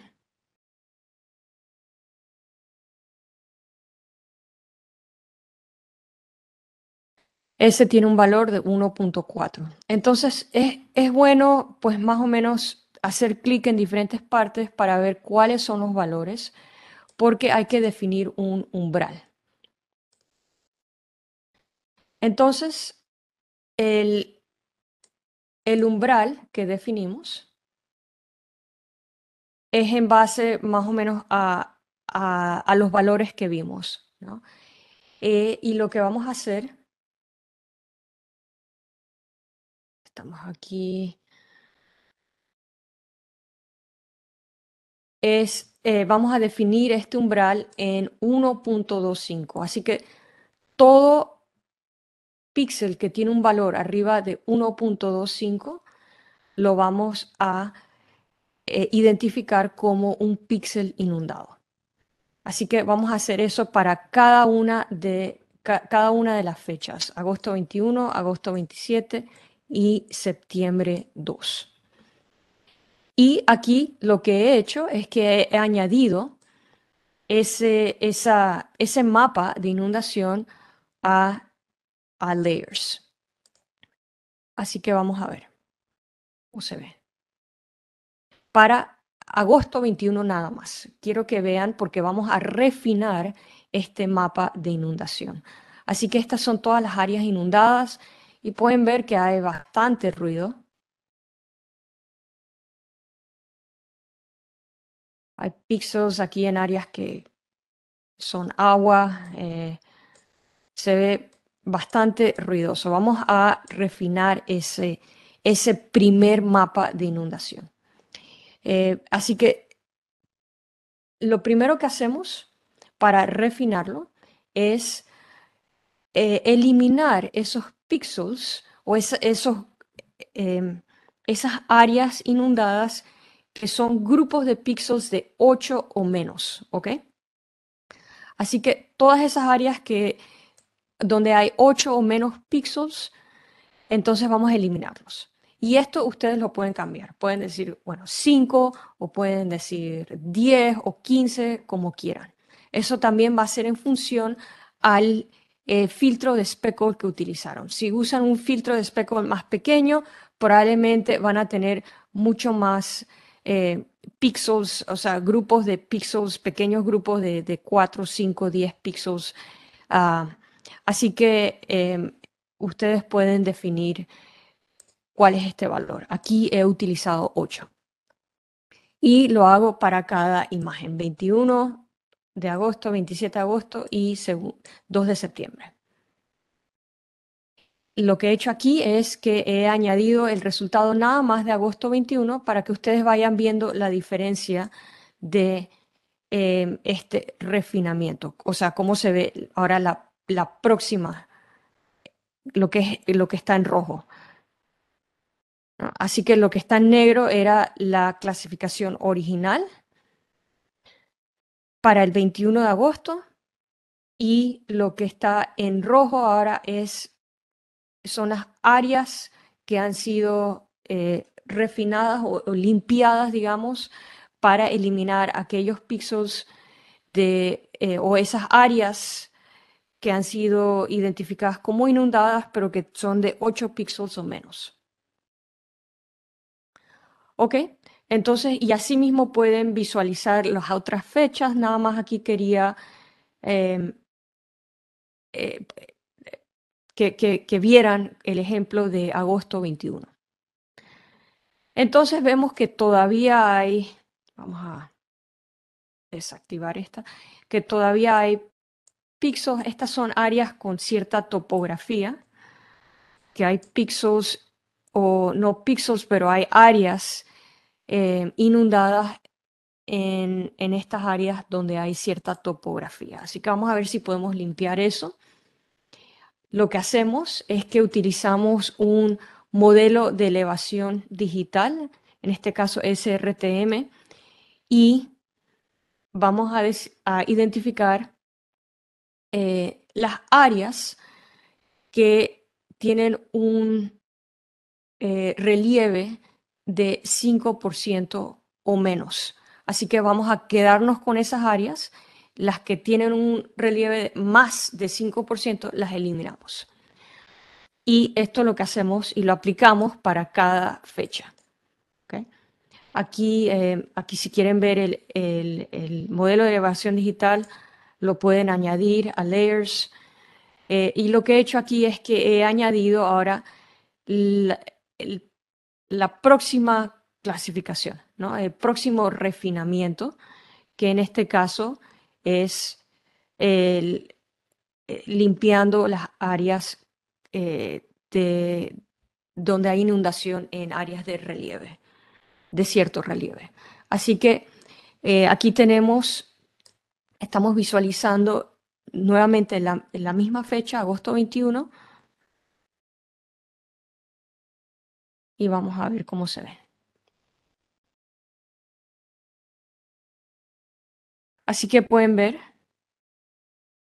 que se han eliminado ciertas áreas donde había inundación en áreas donde no tiene sentido porque el relieve es demasiado eh, empinado para que haya una acumulación de agua.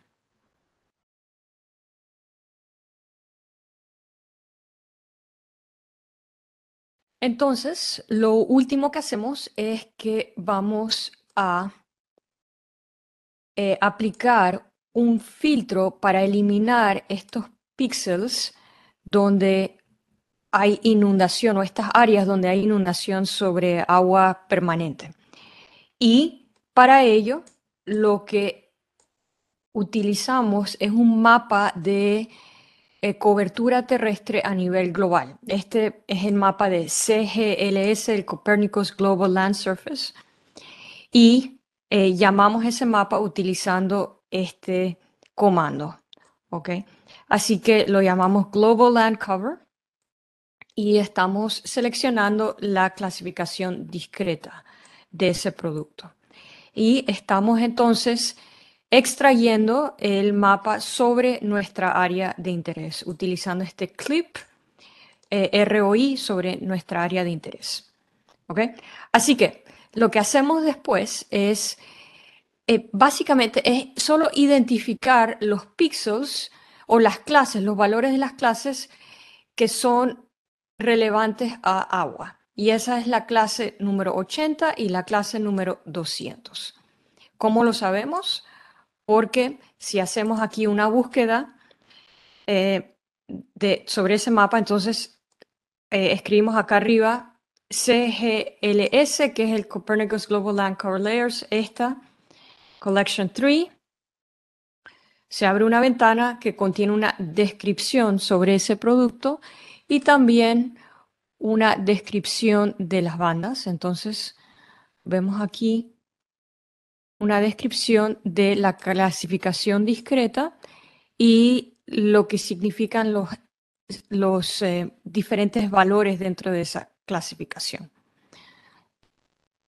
La clase número 80 es la clase de eh, cuerpos de aguas permanentes y el valor número 200 es relevante a los océanos eh, ¿Ok? Así que esas dos clases son las que queremos identificar para entonces remover cualquier tipo de eh, eh, clasificación inundada sobre esos cuerpos de agua.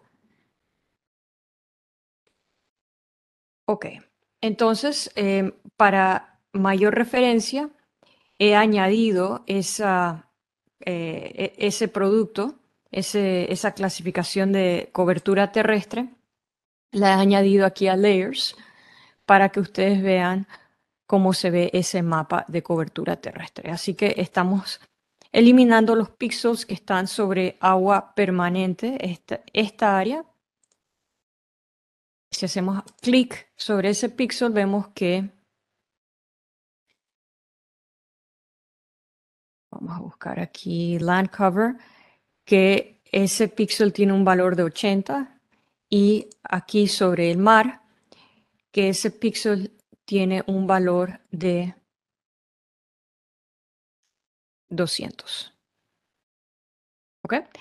Así que lo que hacemos aquí en el código es que identificamos los píxeles que tienen un valor de 80 y 200 en ese, esa clasificación y entonces decimos, ok, lo que sea que esté inundado eh, en esas áreas, entonces vamos a eh, cambiar ese valor de inundación a cero en nuestro mapa de inundación. Así que estamos creando un nuevo mapa de inundación que le está, aquí estoy llamando inundación número 4 porque este es el cuarto, eh, eh, eh, mapa de inundación que estamos creando después de todos estos refinamientos. Y esto lo estamos haciendo para cada fecha, agosto 21, 27 y el segundo de septiembre. Entonces, este ya es el mapa de inundación final que hemos creado y lo vamos a añadir a, a layers para visualizarlo. Entonces, Primero vamos a ver el último mapa, el, previo de inundación que habíamos creado, que es rosado, donde no habíamos limpiado estas áreas eh, de clasificaciones erróneas sobre agua. Y aquí las áreas verdes, la, siguiente, el siguiente refinamiento ha limpiado esas áreas. ¿Ok? Y aquí vemos que, que hay eh, que está marcando inundación sobre esta, lo que pareciera ser agua permanente, pero si vemos el mapa de cobertura, vemos que el mapa no está clasificando esa área como agua permanente, sino que está clasificando esa área como eh, un, humedal. ¿Ok? Así que esta, indica que esta área aquí el valor en la clasificación es 90, entonces si regresamos a buscar qué significa el valor 90, eh, son humedales. Así que lo más probable es que ese, este humedal eh, se inundó durante la inundación. Así que em, vamos a visualizar la extensión de inundación, o sea, este ya, como mencioné, esta es nuestra inundación final, para el 21 de agosto en verde, en amarillo el 27 de agosto y en color naranja el 2 de septiembre. Ok, entonces, el siguiente paso ahora es calcular la extensión de inundación. Y para eso lo que hacemos es que eh, básicamente contamos el número de píxeles que, ha sido que han sido clasificados como inundados y eh, lo multiplicamos por la resolución espacial de ese píxel, que en este caso la resolución nativa de Sentinel-1 es 10 eh, metros. ¿ok? Y después lo convertimos a hectáreas. Y esto lo hacemos, entonces imprimimos esos resultados aquí a la consola, en la mano derecha, y eh, lo, hacemos exactamente lo mismo para cada diferente fecha. Agosto 21, agosto, 20, agosto 21 aquí, el primero, después lo hacemos para agosto 27 y después para el segundo de septiembre. ¿Ok? Y aquí imprimimos los resultados. 12.389 hectáreas inundadas en nuestra área de interés. El 27 de agosto, perdón, comenzamos aquí arriba, 16.664 hectáreas inundadas el 21 de agosto, 12.389 el 27 de agosto y 9.829 el 2 de septiembre. Así que vemos que eh, ha disminuido la inundación em, desde el 21 de agosto. Entonces, lo próximo que hacemos es ver cuál ha sido el impacto en la agricultura, en los cultivos. Y para ello, primero necesitamos identificar dónde están esos cultivos, así que utilizamos el, mismo mapa que utilizamos para identificar las áreas de agua permanente. Este es el mapa CGLS y en vez de identificar agua, ahora identificamos la clase de, eh, que representa los cultivos. Así que vamos a ver. Este es el mapa y todas las clases en todos los píxeles en color rosado son áreas de cultivo. Así que si nada más extraemos las áreas de cultivo, esas son las áreas de cultivo dentro de nuestra área de interés. Así que aquí identificamos las áreas, los valores de la clasificación que, tienen los píxeles que tienen un valor de 40 y entonces creamos un, un mask, una máscara. Entonces, eh, lo aplicamos a la clasificación final para cada día y decimos, y, eh, básicamente identificamos em, las áreas donde están inundadas y hay cultivos. Así que creamos una nueva eh, eh, eh, producto, un nuevo mapa que nada más contiene los cultivos inundados para cada día. Y calculamos el área que ha sido impactada, o sea, el área de cultivos inundados. Nuevamente, esto lo calculamos de la misma forma que calculamos la extensión de agua eh, anteriormente, ¿no? Y lo convertimos a hectáreas. Así que eh, esto lo hacemos para cada fecha. Eh, el 21 de agosto, aquí el 27 de agosto y aquí lo hacemos, lo repetimos para el 2 de septiembre. ¿Ok? Entonces, acá abajo imprimimos los resultados en la consola y vamos a ver cuáles son esos resultados. El, el, número de hectáreas de cultivos inundados el 21 de agosto era de 11.297, 7.947 el 27 de agosto y 6.908 el 2 de septiembre. Entonces añadimos estos resultados a la barra de layers. Y aquí podemos ver cultivos inundados el 21 de agosto en verde, cultivos inundados el 27 de agosto en amarillo y el 2 de septiembre en naranja. Ok, entonces, para finalizar, lo que he hecho es eh, añadido una leyenda y esto ustedes lo pueden modificar como deseen, pero la leyenda indica lo que significan los colores. Así que vamos a descomentar esto para que puedan ver. Ahí vamos a hacer otra cosita aquí para que automáticamente aparezca eh, la imagen de la 9 de agosto al ejecutar este código. Ok, entonces ejecutamos y aquí está nuestra leyenda que dice eh, la extensión de inundación.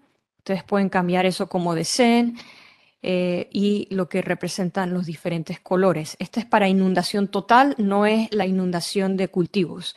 Si desean incluir eso en la leyenda, pueden cambiarlo y modificarlo como deseen. ¿Ok?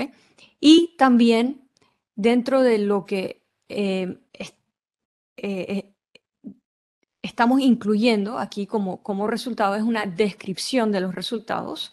Así que aquí en la derecha, en la izquierda inferior, he creado una... Eh, estoy imprimiendo los resultados.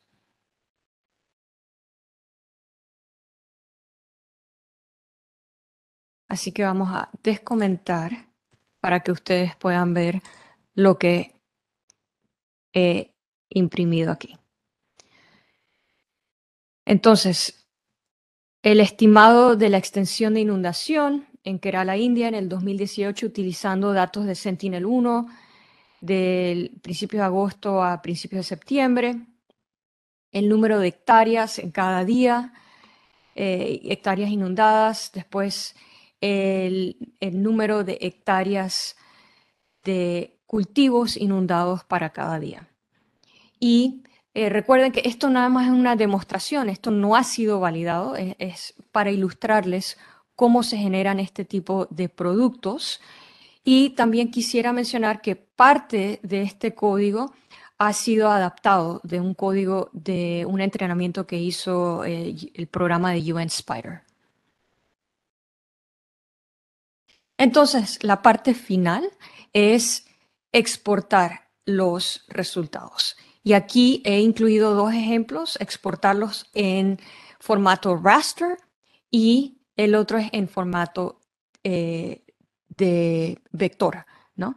Así que como raster, tienen que indicar qué es lo que desean exportar. Aquí estamos exportando la imagen de, de inundación total del 21 de agosto y estamos llamando ese, esa imagen, eh, o sea, ese archivo, lo vamos a llamar, este es el nombre que le he dado, a la escala original, que es la resolución nativa de Sentinel-1, que es 10 metros, GeoTIFF, ¿ok? Entonces, esta imagen tienen que, tienen que eh, o sea, tienen que activar ese proceso de exportación y para hacer eso van a Tasks y tienen que hacer clic en Run para comenzar ese proceso de exportación y esa imagen la van a encontrar en su Google Drive. Así que aquí están los pasos sobre eh, cómo exportar en, em, como a, a un shapefile y lo primero que deben de hacer es convertir esa imagen raster a polígonos y después pueden exportar esos polígonos a un shapefile. Así que este es el nombre del archivo eh, del vector, del shapefile, y este es el nombre del zip file. Y aquí hacen clic en Run. Ok, entonces eso concluye esta demostración. Nuevamente, la idea aquí es que ustedes puedan seguir estos pasos, modificar este código para su área evento de interés.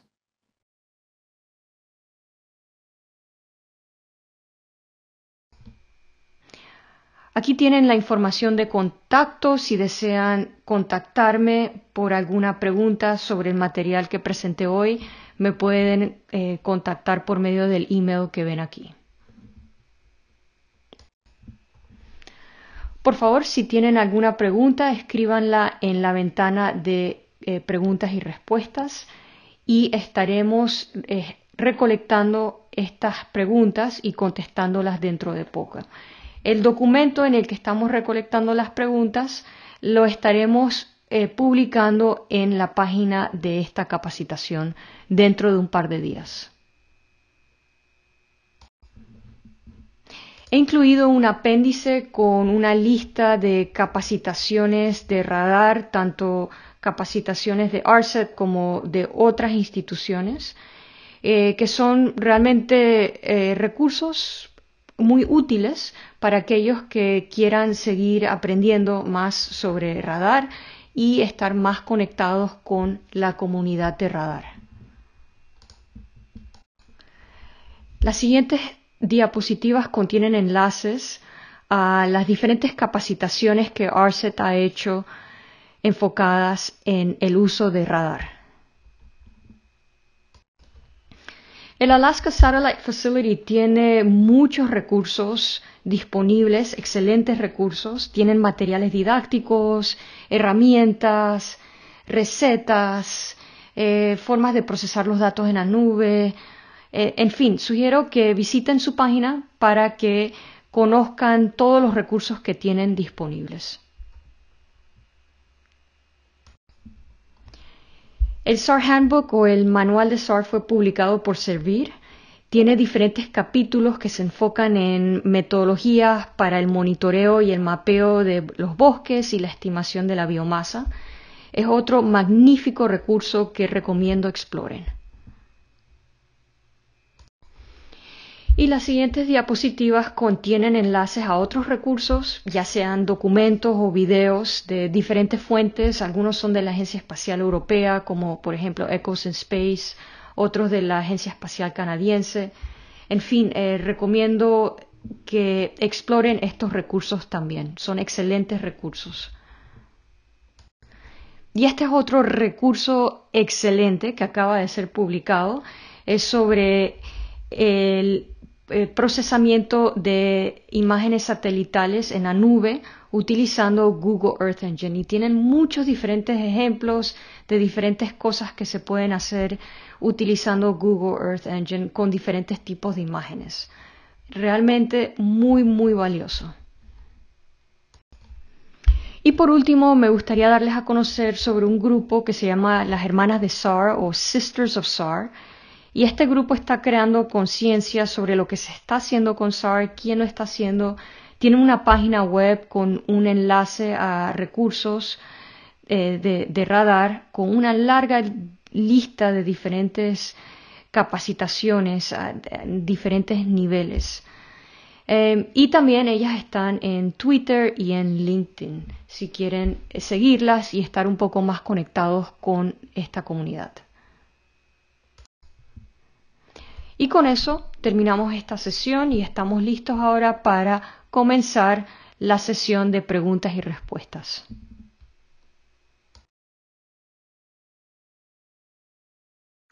Quisiera agradecer a todos los participantes por las preguntas que ya han estado escribiendo. Eh, las hemos estado, como mencioné, recolectando en un, eh, en, un documento Google que eh, lo pueden ver aquí en pantalla. Así que vamos a comenzar a contestar las preguntas de arriba para abajo. Ok, la primera pregunta. Con el nuevo satélite de la, de, de NISAR, NASA ISRO, o con Sentinel-1, NISAR se podría inferir, ok, o con Sentinel-1, se podría inferir la altura de la inundación. Es posible, pero no con esta metodología que demostré hoy. Hoy nada más estábamos viendo la amplitud.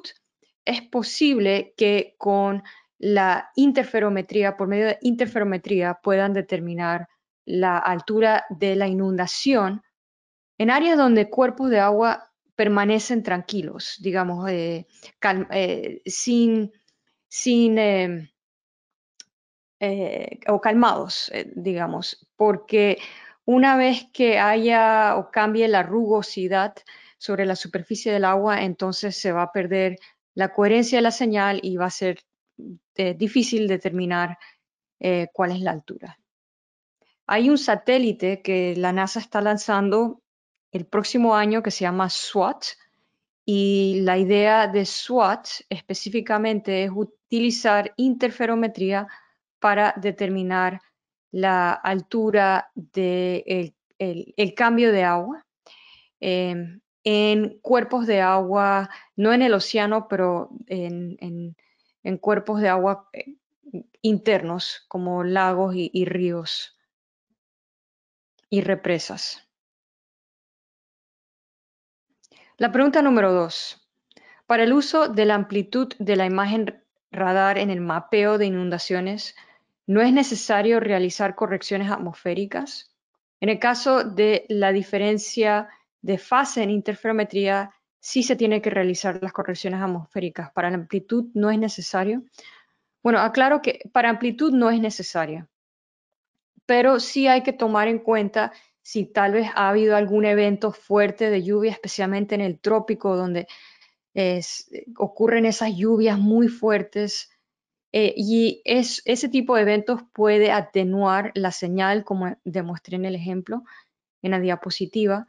O también si uno obtiene una imagen de la superficie poco después que haya llovido o durante una lluvia y todo está muy mojado, entonces eh, la apariencia de la superficie en esa imagen va a ser un poco diferente a las imágenes previas, ya que habrá alta reflectividad. Eh, en el caso de las imágenes interferométricas, no hay necesariamente que hacer correcciones atmosféricas, eh, pero las condiciones atmosféricas sí podrían tener un efecto en, en el análisis interferométrico. Pregunta 3. Para detectar inundaciones en zonas urbanas, ¿qué se recomienda? Ok, esta es una muy buena pregunta porque, pues como mencioné, ahí, desde la perspectiva del radar, la inundación tiene, em, se caracteriza de eh, dos formas. Una es la em, retrodispersión especular, que son áreas donde hay cuerpos de agua sin ningún tipo de vegetación sobre el agua y en estas áreas se ven muy oscuras. Así que eso es como agua acumulada. Eh, y el otro tipo de inundación es eh, vegetación inundada. Y en esos casos, la retrodispersión es muy brillante, muy alta, porque domina el doble rebote. Así que en zonas urbanas realmente es más difícil identificar inundaciones porque en zonas urbanas ya tenemos muchas áreas de doble rebote. Entonces lo que hay que hacer es que hay que ver cuáles son las áreas donde hay em, un cambio en el doble rebote, o sea, donde hay doble rebote adicional. Esas serían áreas inundadas.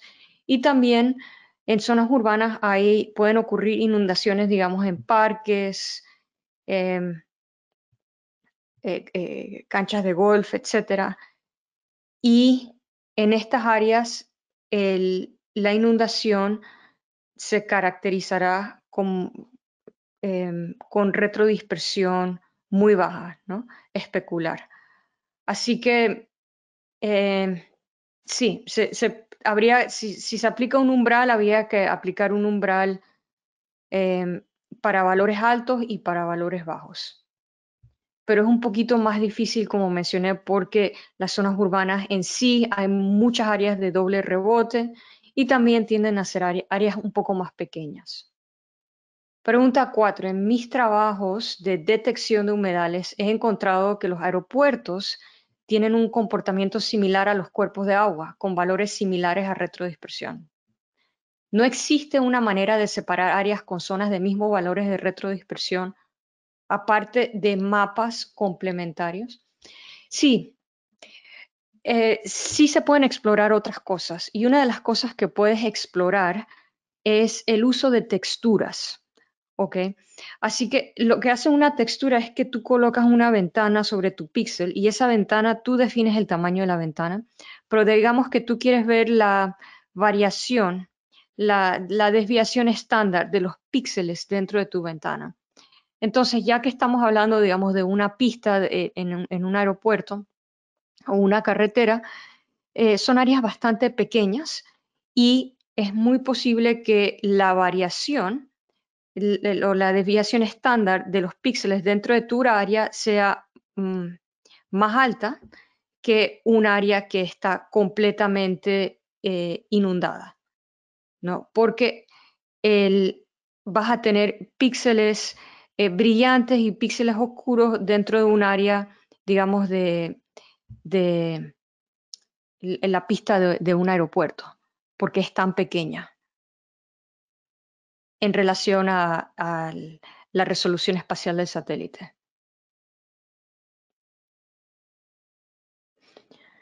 Hay, pregunta 5, hay un anuncio de un Sentinel-1C que será lanzado el próximo año. ¿Es correcto este dato? Pues no lo puedo confirmar. Los satélites Sentinel son eh, satélites de la Agencia Espacial Europea, realmente de la Unión Europea, pero sí se ha mencionado que van a lanzar la continuación de estos satélites de radar, que sería Sentinel-1C, que es un sensor idéntico a los previos, y que este, este, lanzamiento ocurrirá, creo que escuché que será en abril del próximo año, 2023. Pregunta 6. ¿En qué se diferencia la información que se puede adquirir de Sentinel-1 y Sentinel-2 y por qué Sentinel-2 no son empleadas. Hmm. Bueno, hay una diferencia sustancial en términos de los sensores. Sentinel-1 es un sensor de radar, Sentinel-2 es un sensor óptico. Eh, los sensores ópticos eh, eh, proveen información sobre las propiedades químicas de la superficie, mientras que los sensores de radar proveen información sobre relacionada a la estructura y a la humedad en la superficie. Así que son fundamentalmente dos sensores diferentes. Pueden ser empleados juntos, definitivamente, cada uno tiene sus ventajas y definitivamente que pueden ser empleados ya sea de una forma junta, digamos, si, tienes un clasificador random forest, incluyes todas las bandas juntas o puedes generar eh, productos o mapas de cada uno y después combinar esa información Así que hay diferentes formas de abordar esto. Eh, la razón que hemos utilizado Sentinel-1 hoy es que realmente para cuando ocurren inundaciones, una de las cosas que prevalece es la cobertura nubosa.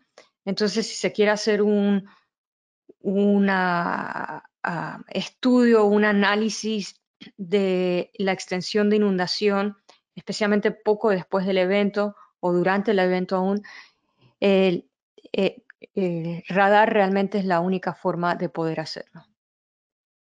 Pregunta 7. ¿Puedes compartirnos los scripts usados en esta sesión? Eh, precisamente como escribe la persona aquí, los scripts están en la presentación de hoy, en la versión PDF. ¿Puedo detectar sequía con radar? Pregunta 8. Definitivamente que sí se puede detectar sequía con radar. Como mencioné, o sea, radar dentro de las cosas que es sensible o contiene información sobre las propiedades dieléctricas de la superficie. Entonces, cuando la retrodispersión es diferente cuando una superficie está mojada, cuando hay agua líquida en la superficie, versus esa misma superficie seca. Y em, hay diferentes algoritmos para determinar la humedad del suelo. Es más, hay un satélite dedicado a medir la humedad del suelo a nivel global y se llama SMAP. Em, y, se pueden utilizar esos datos o también se pueden aplicar los algoritmos con los datos de Sentinel-1 para determinar la humedad del suelo.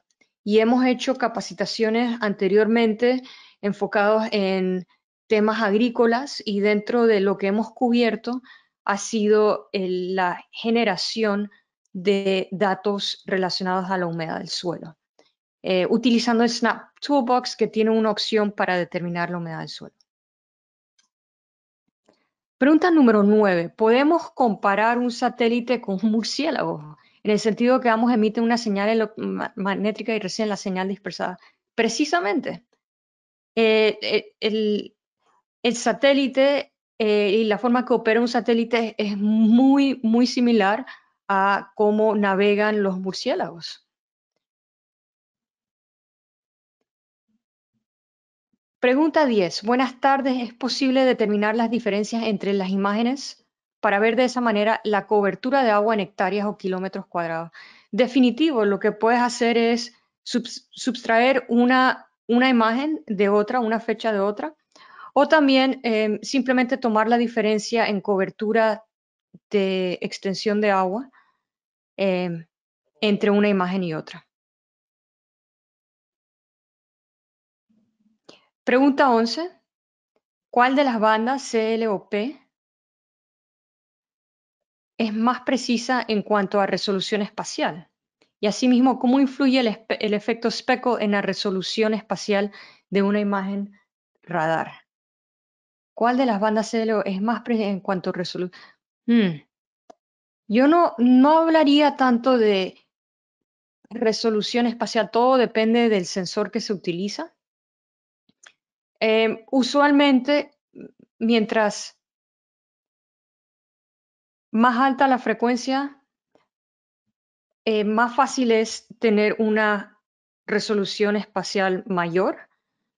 Em, ¿Y cómo influye el efecto speckle en la resolución espacial de una imagen radar?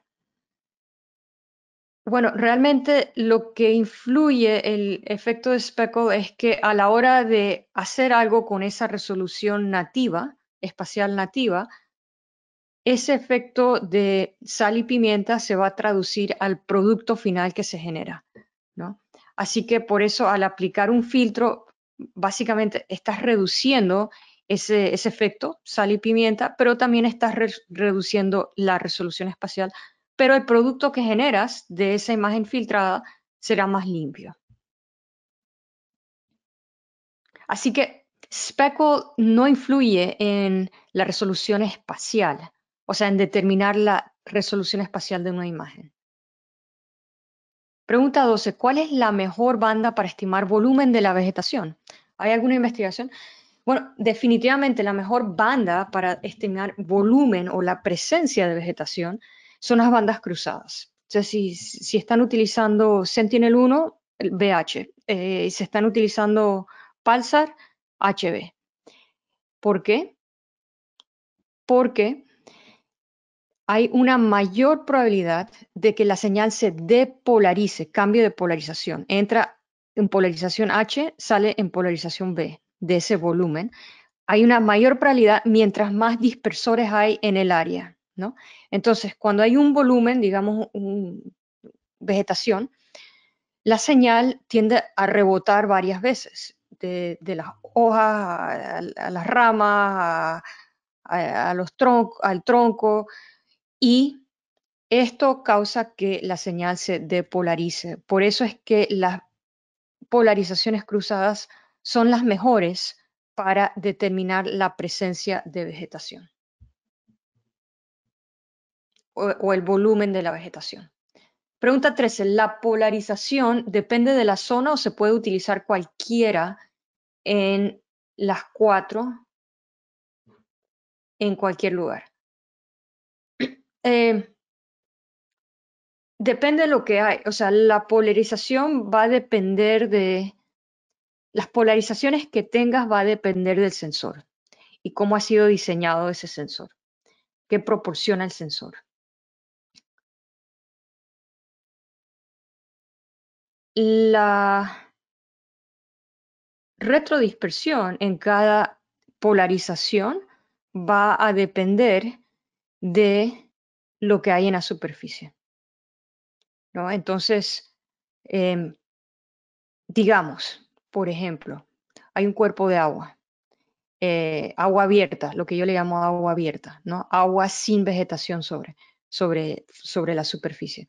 Entonces, e, esa agua tiene cierta rugosidad porque hay un poquito de viento. En la polarización BB con Sentinel 1, el agua va a aparecer, no va a ser tan, tan oscura. Va a tener cierto, va a ser un poquito más alta en, su valor de retrodispersión por esa rugosidad. Pero en la polarización BH, el agua va a aparecer muy oscura porque en una superficie especular aún si tienes un poquito de rugosidad, esa señal no se va a depolarizar. Esa señal no va a estar saltando de un lugar a otro y se depolariza. Básicamente es una superficie plana eh, con un poco eh, de, rugosidad, pero no lo suficiente para que la señal, la, la polarización se depolarice.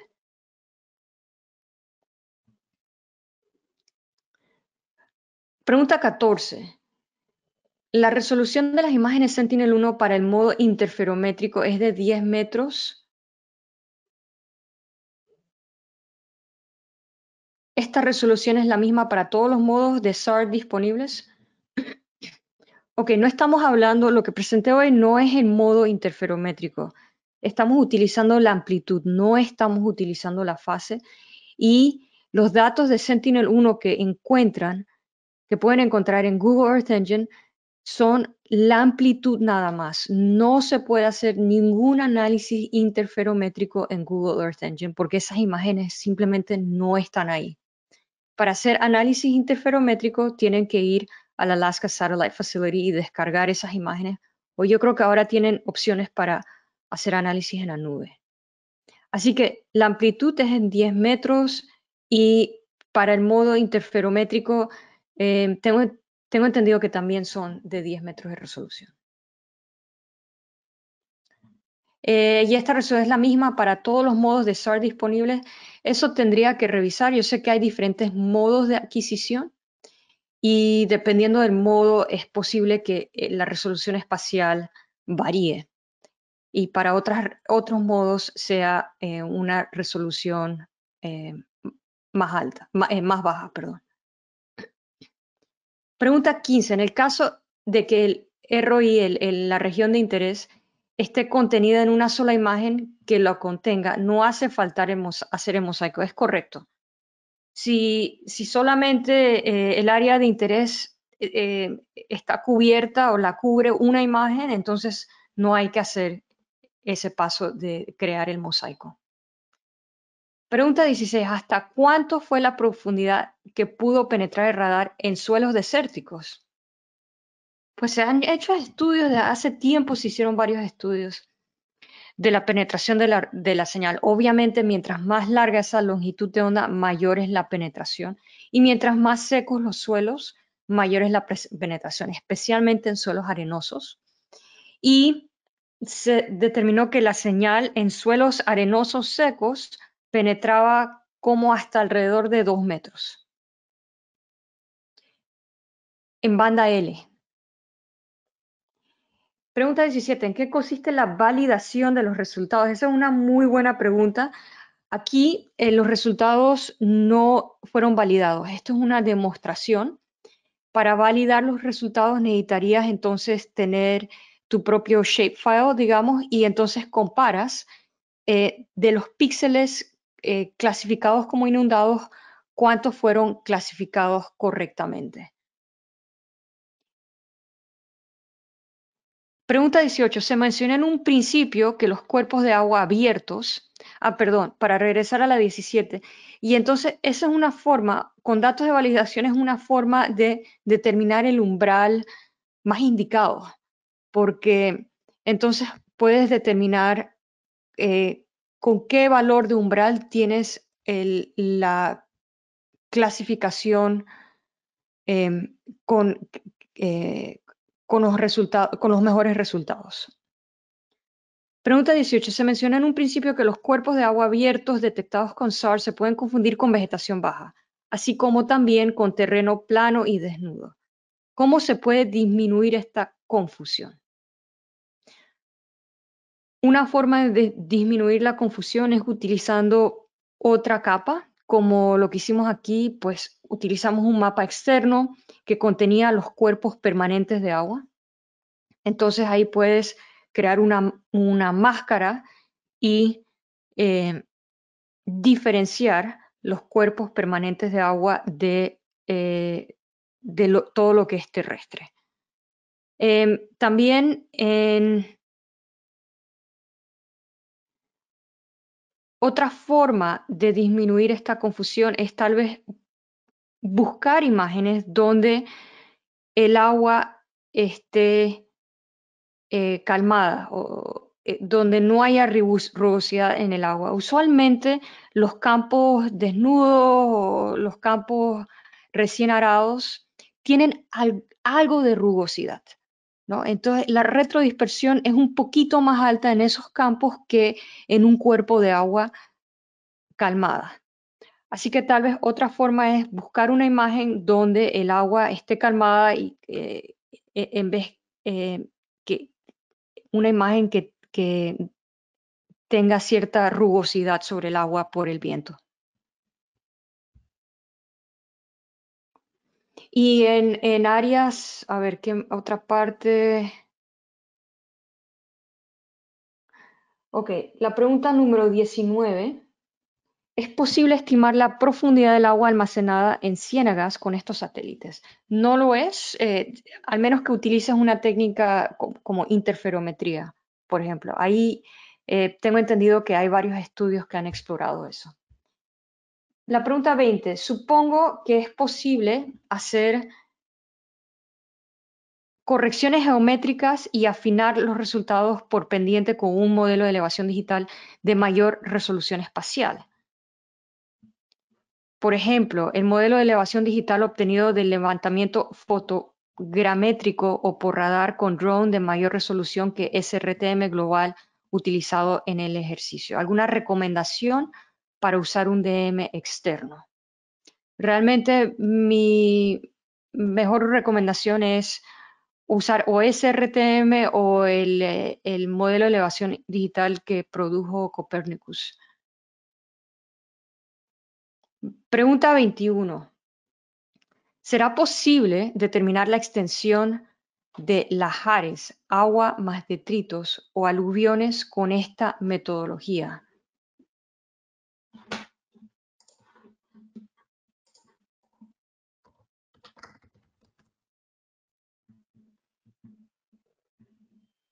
Ok. Em, es posible. Yo creo que es cuestión de explorarlo. Detritos eh, eh, es algo que acabo de buscar, no estoy familiarizada con esa terminología. Em, así que detritos básicamente material orgánico disuelto. Ok. Eh, radar con imágenes ópticas, las imágenes ópticas contienen información sobre las propiedades químicas. Definitivamente sí se puede con imágenes ópticas. Con, radar, la única forma es si, digamos, esas áreas con detritos tienen una rugosidad diferente. Entonces se puede determinar que esa agua es diferente. No se puede determinar por qué, pero que tiene propiedades diferentes. Pregunta 22. Para detectar áreas inundadas, HH, pero también VH, ¿dan buenos resultados? Eh, para detectar áreas inundadas, lo mejor es utilizar HH porque hay mayor probabilidad de penetración a través de la vegetación. Eh, perdón, para detectar vegetación inundada, lo más indicado es utilizar la polarización HH o VB.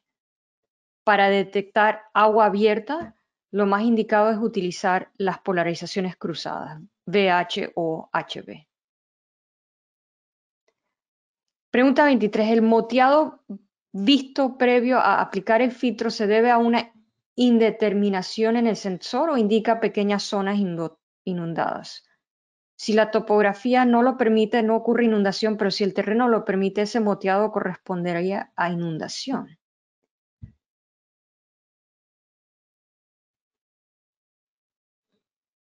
Eh, si entiendo esta pregunta correctamente, el moteado no tiene nada que ver con la presencia de inundación.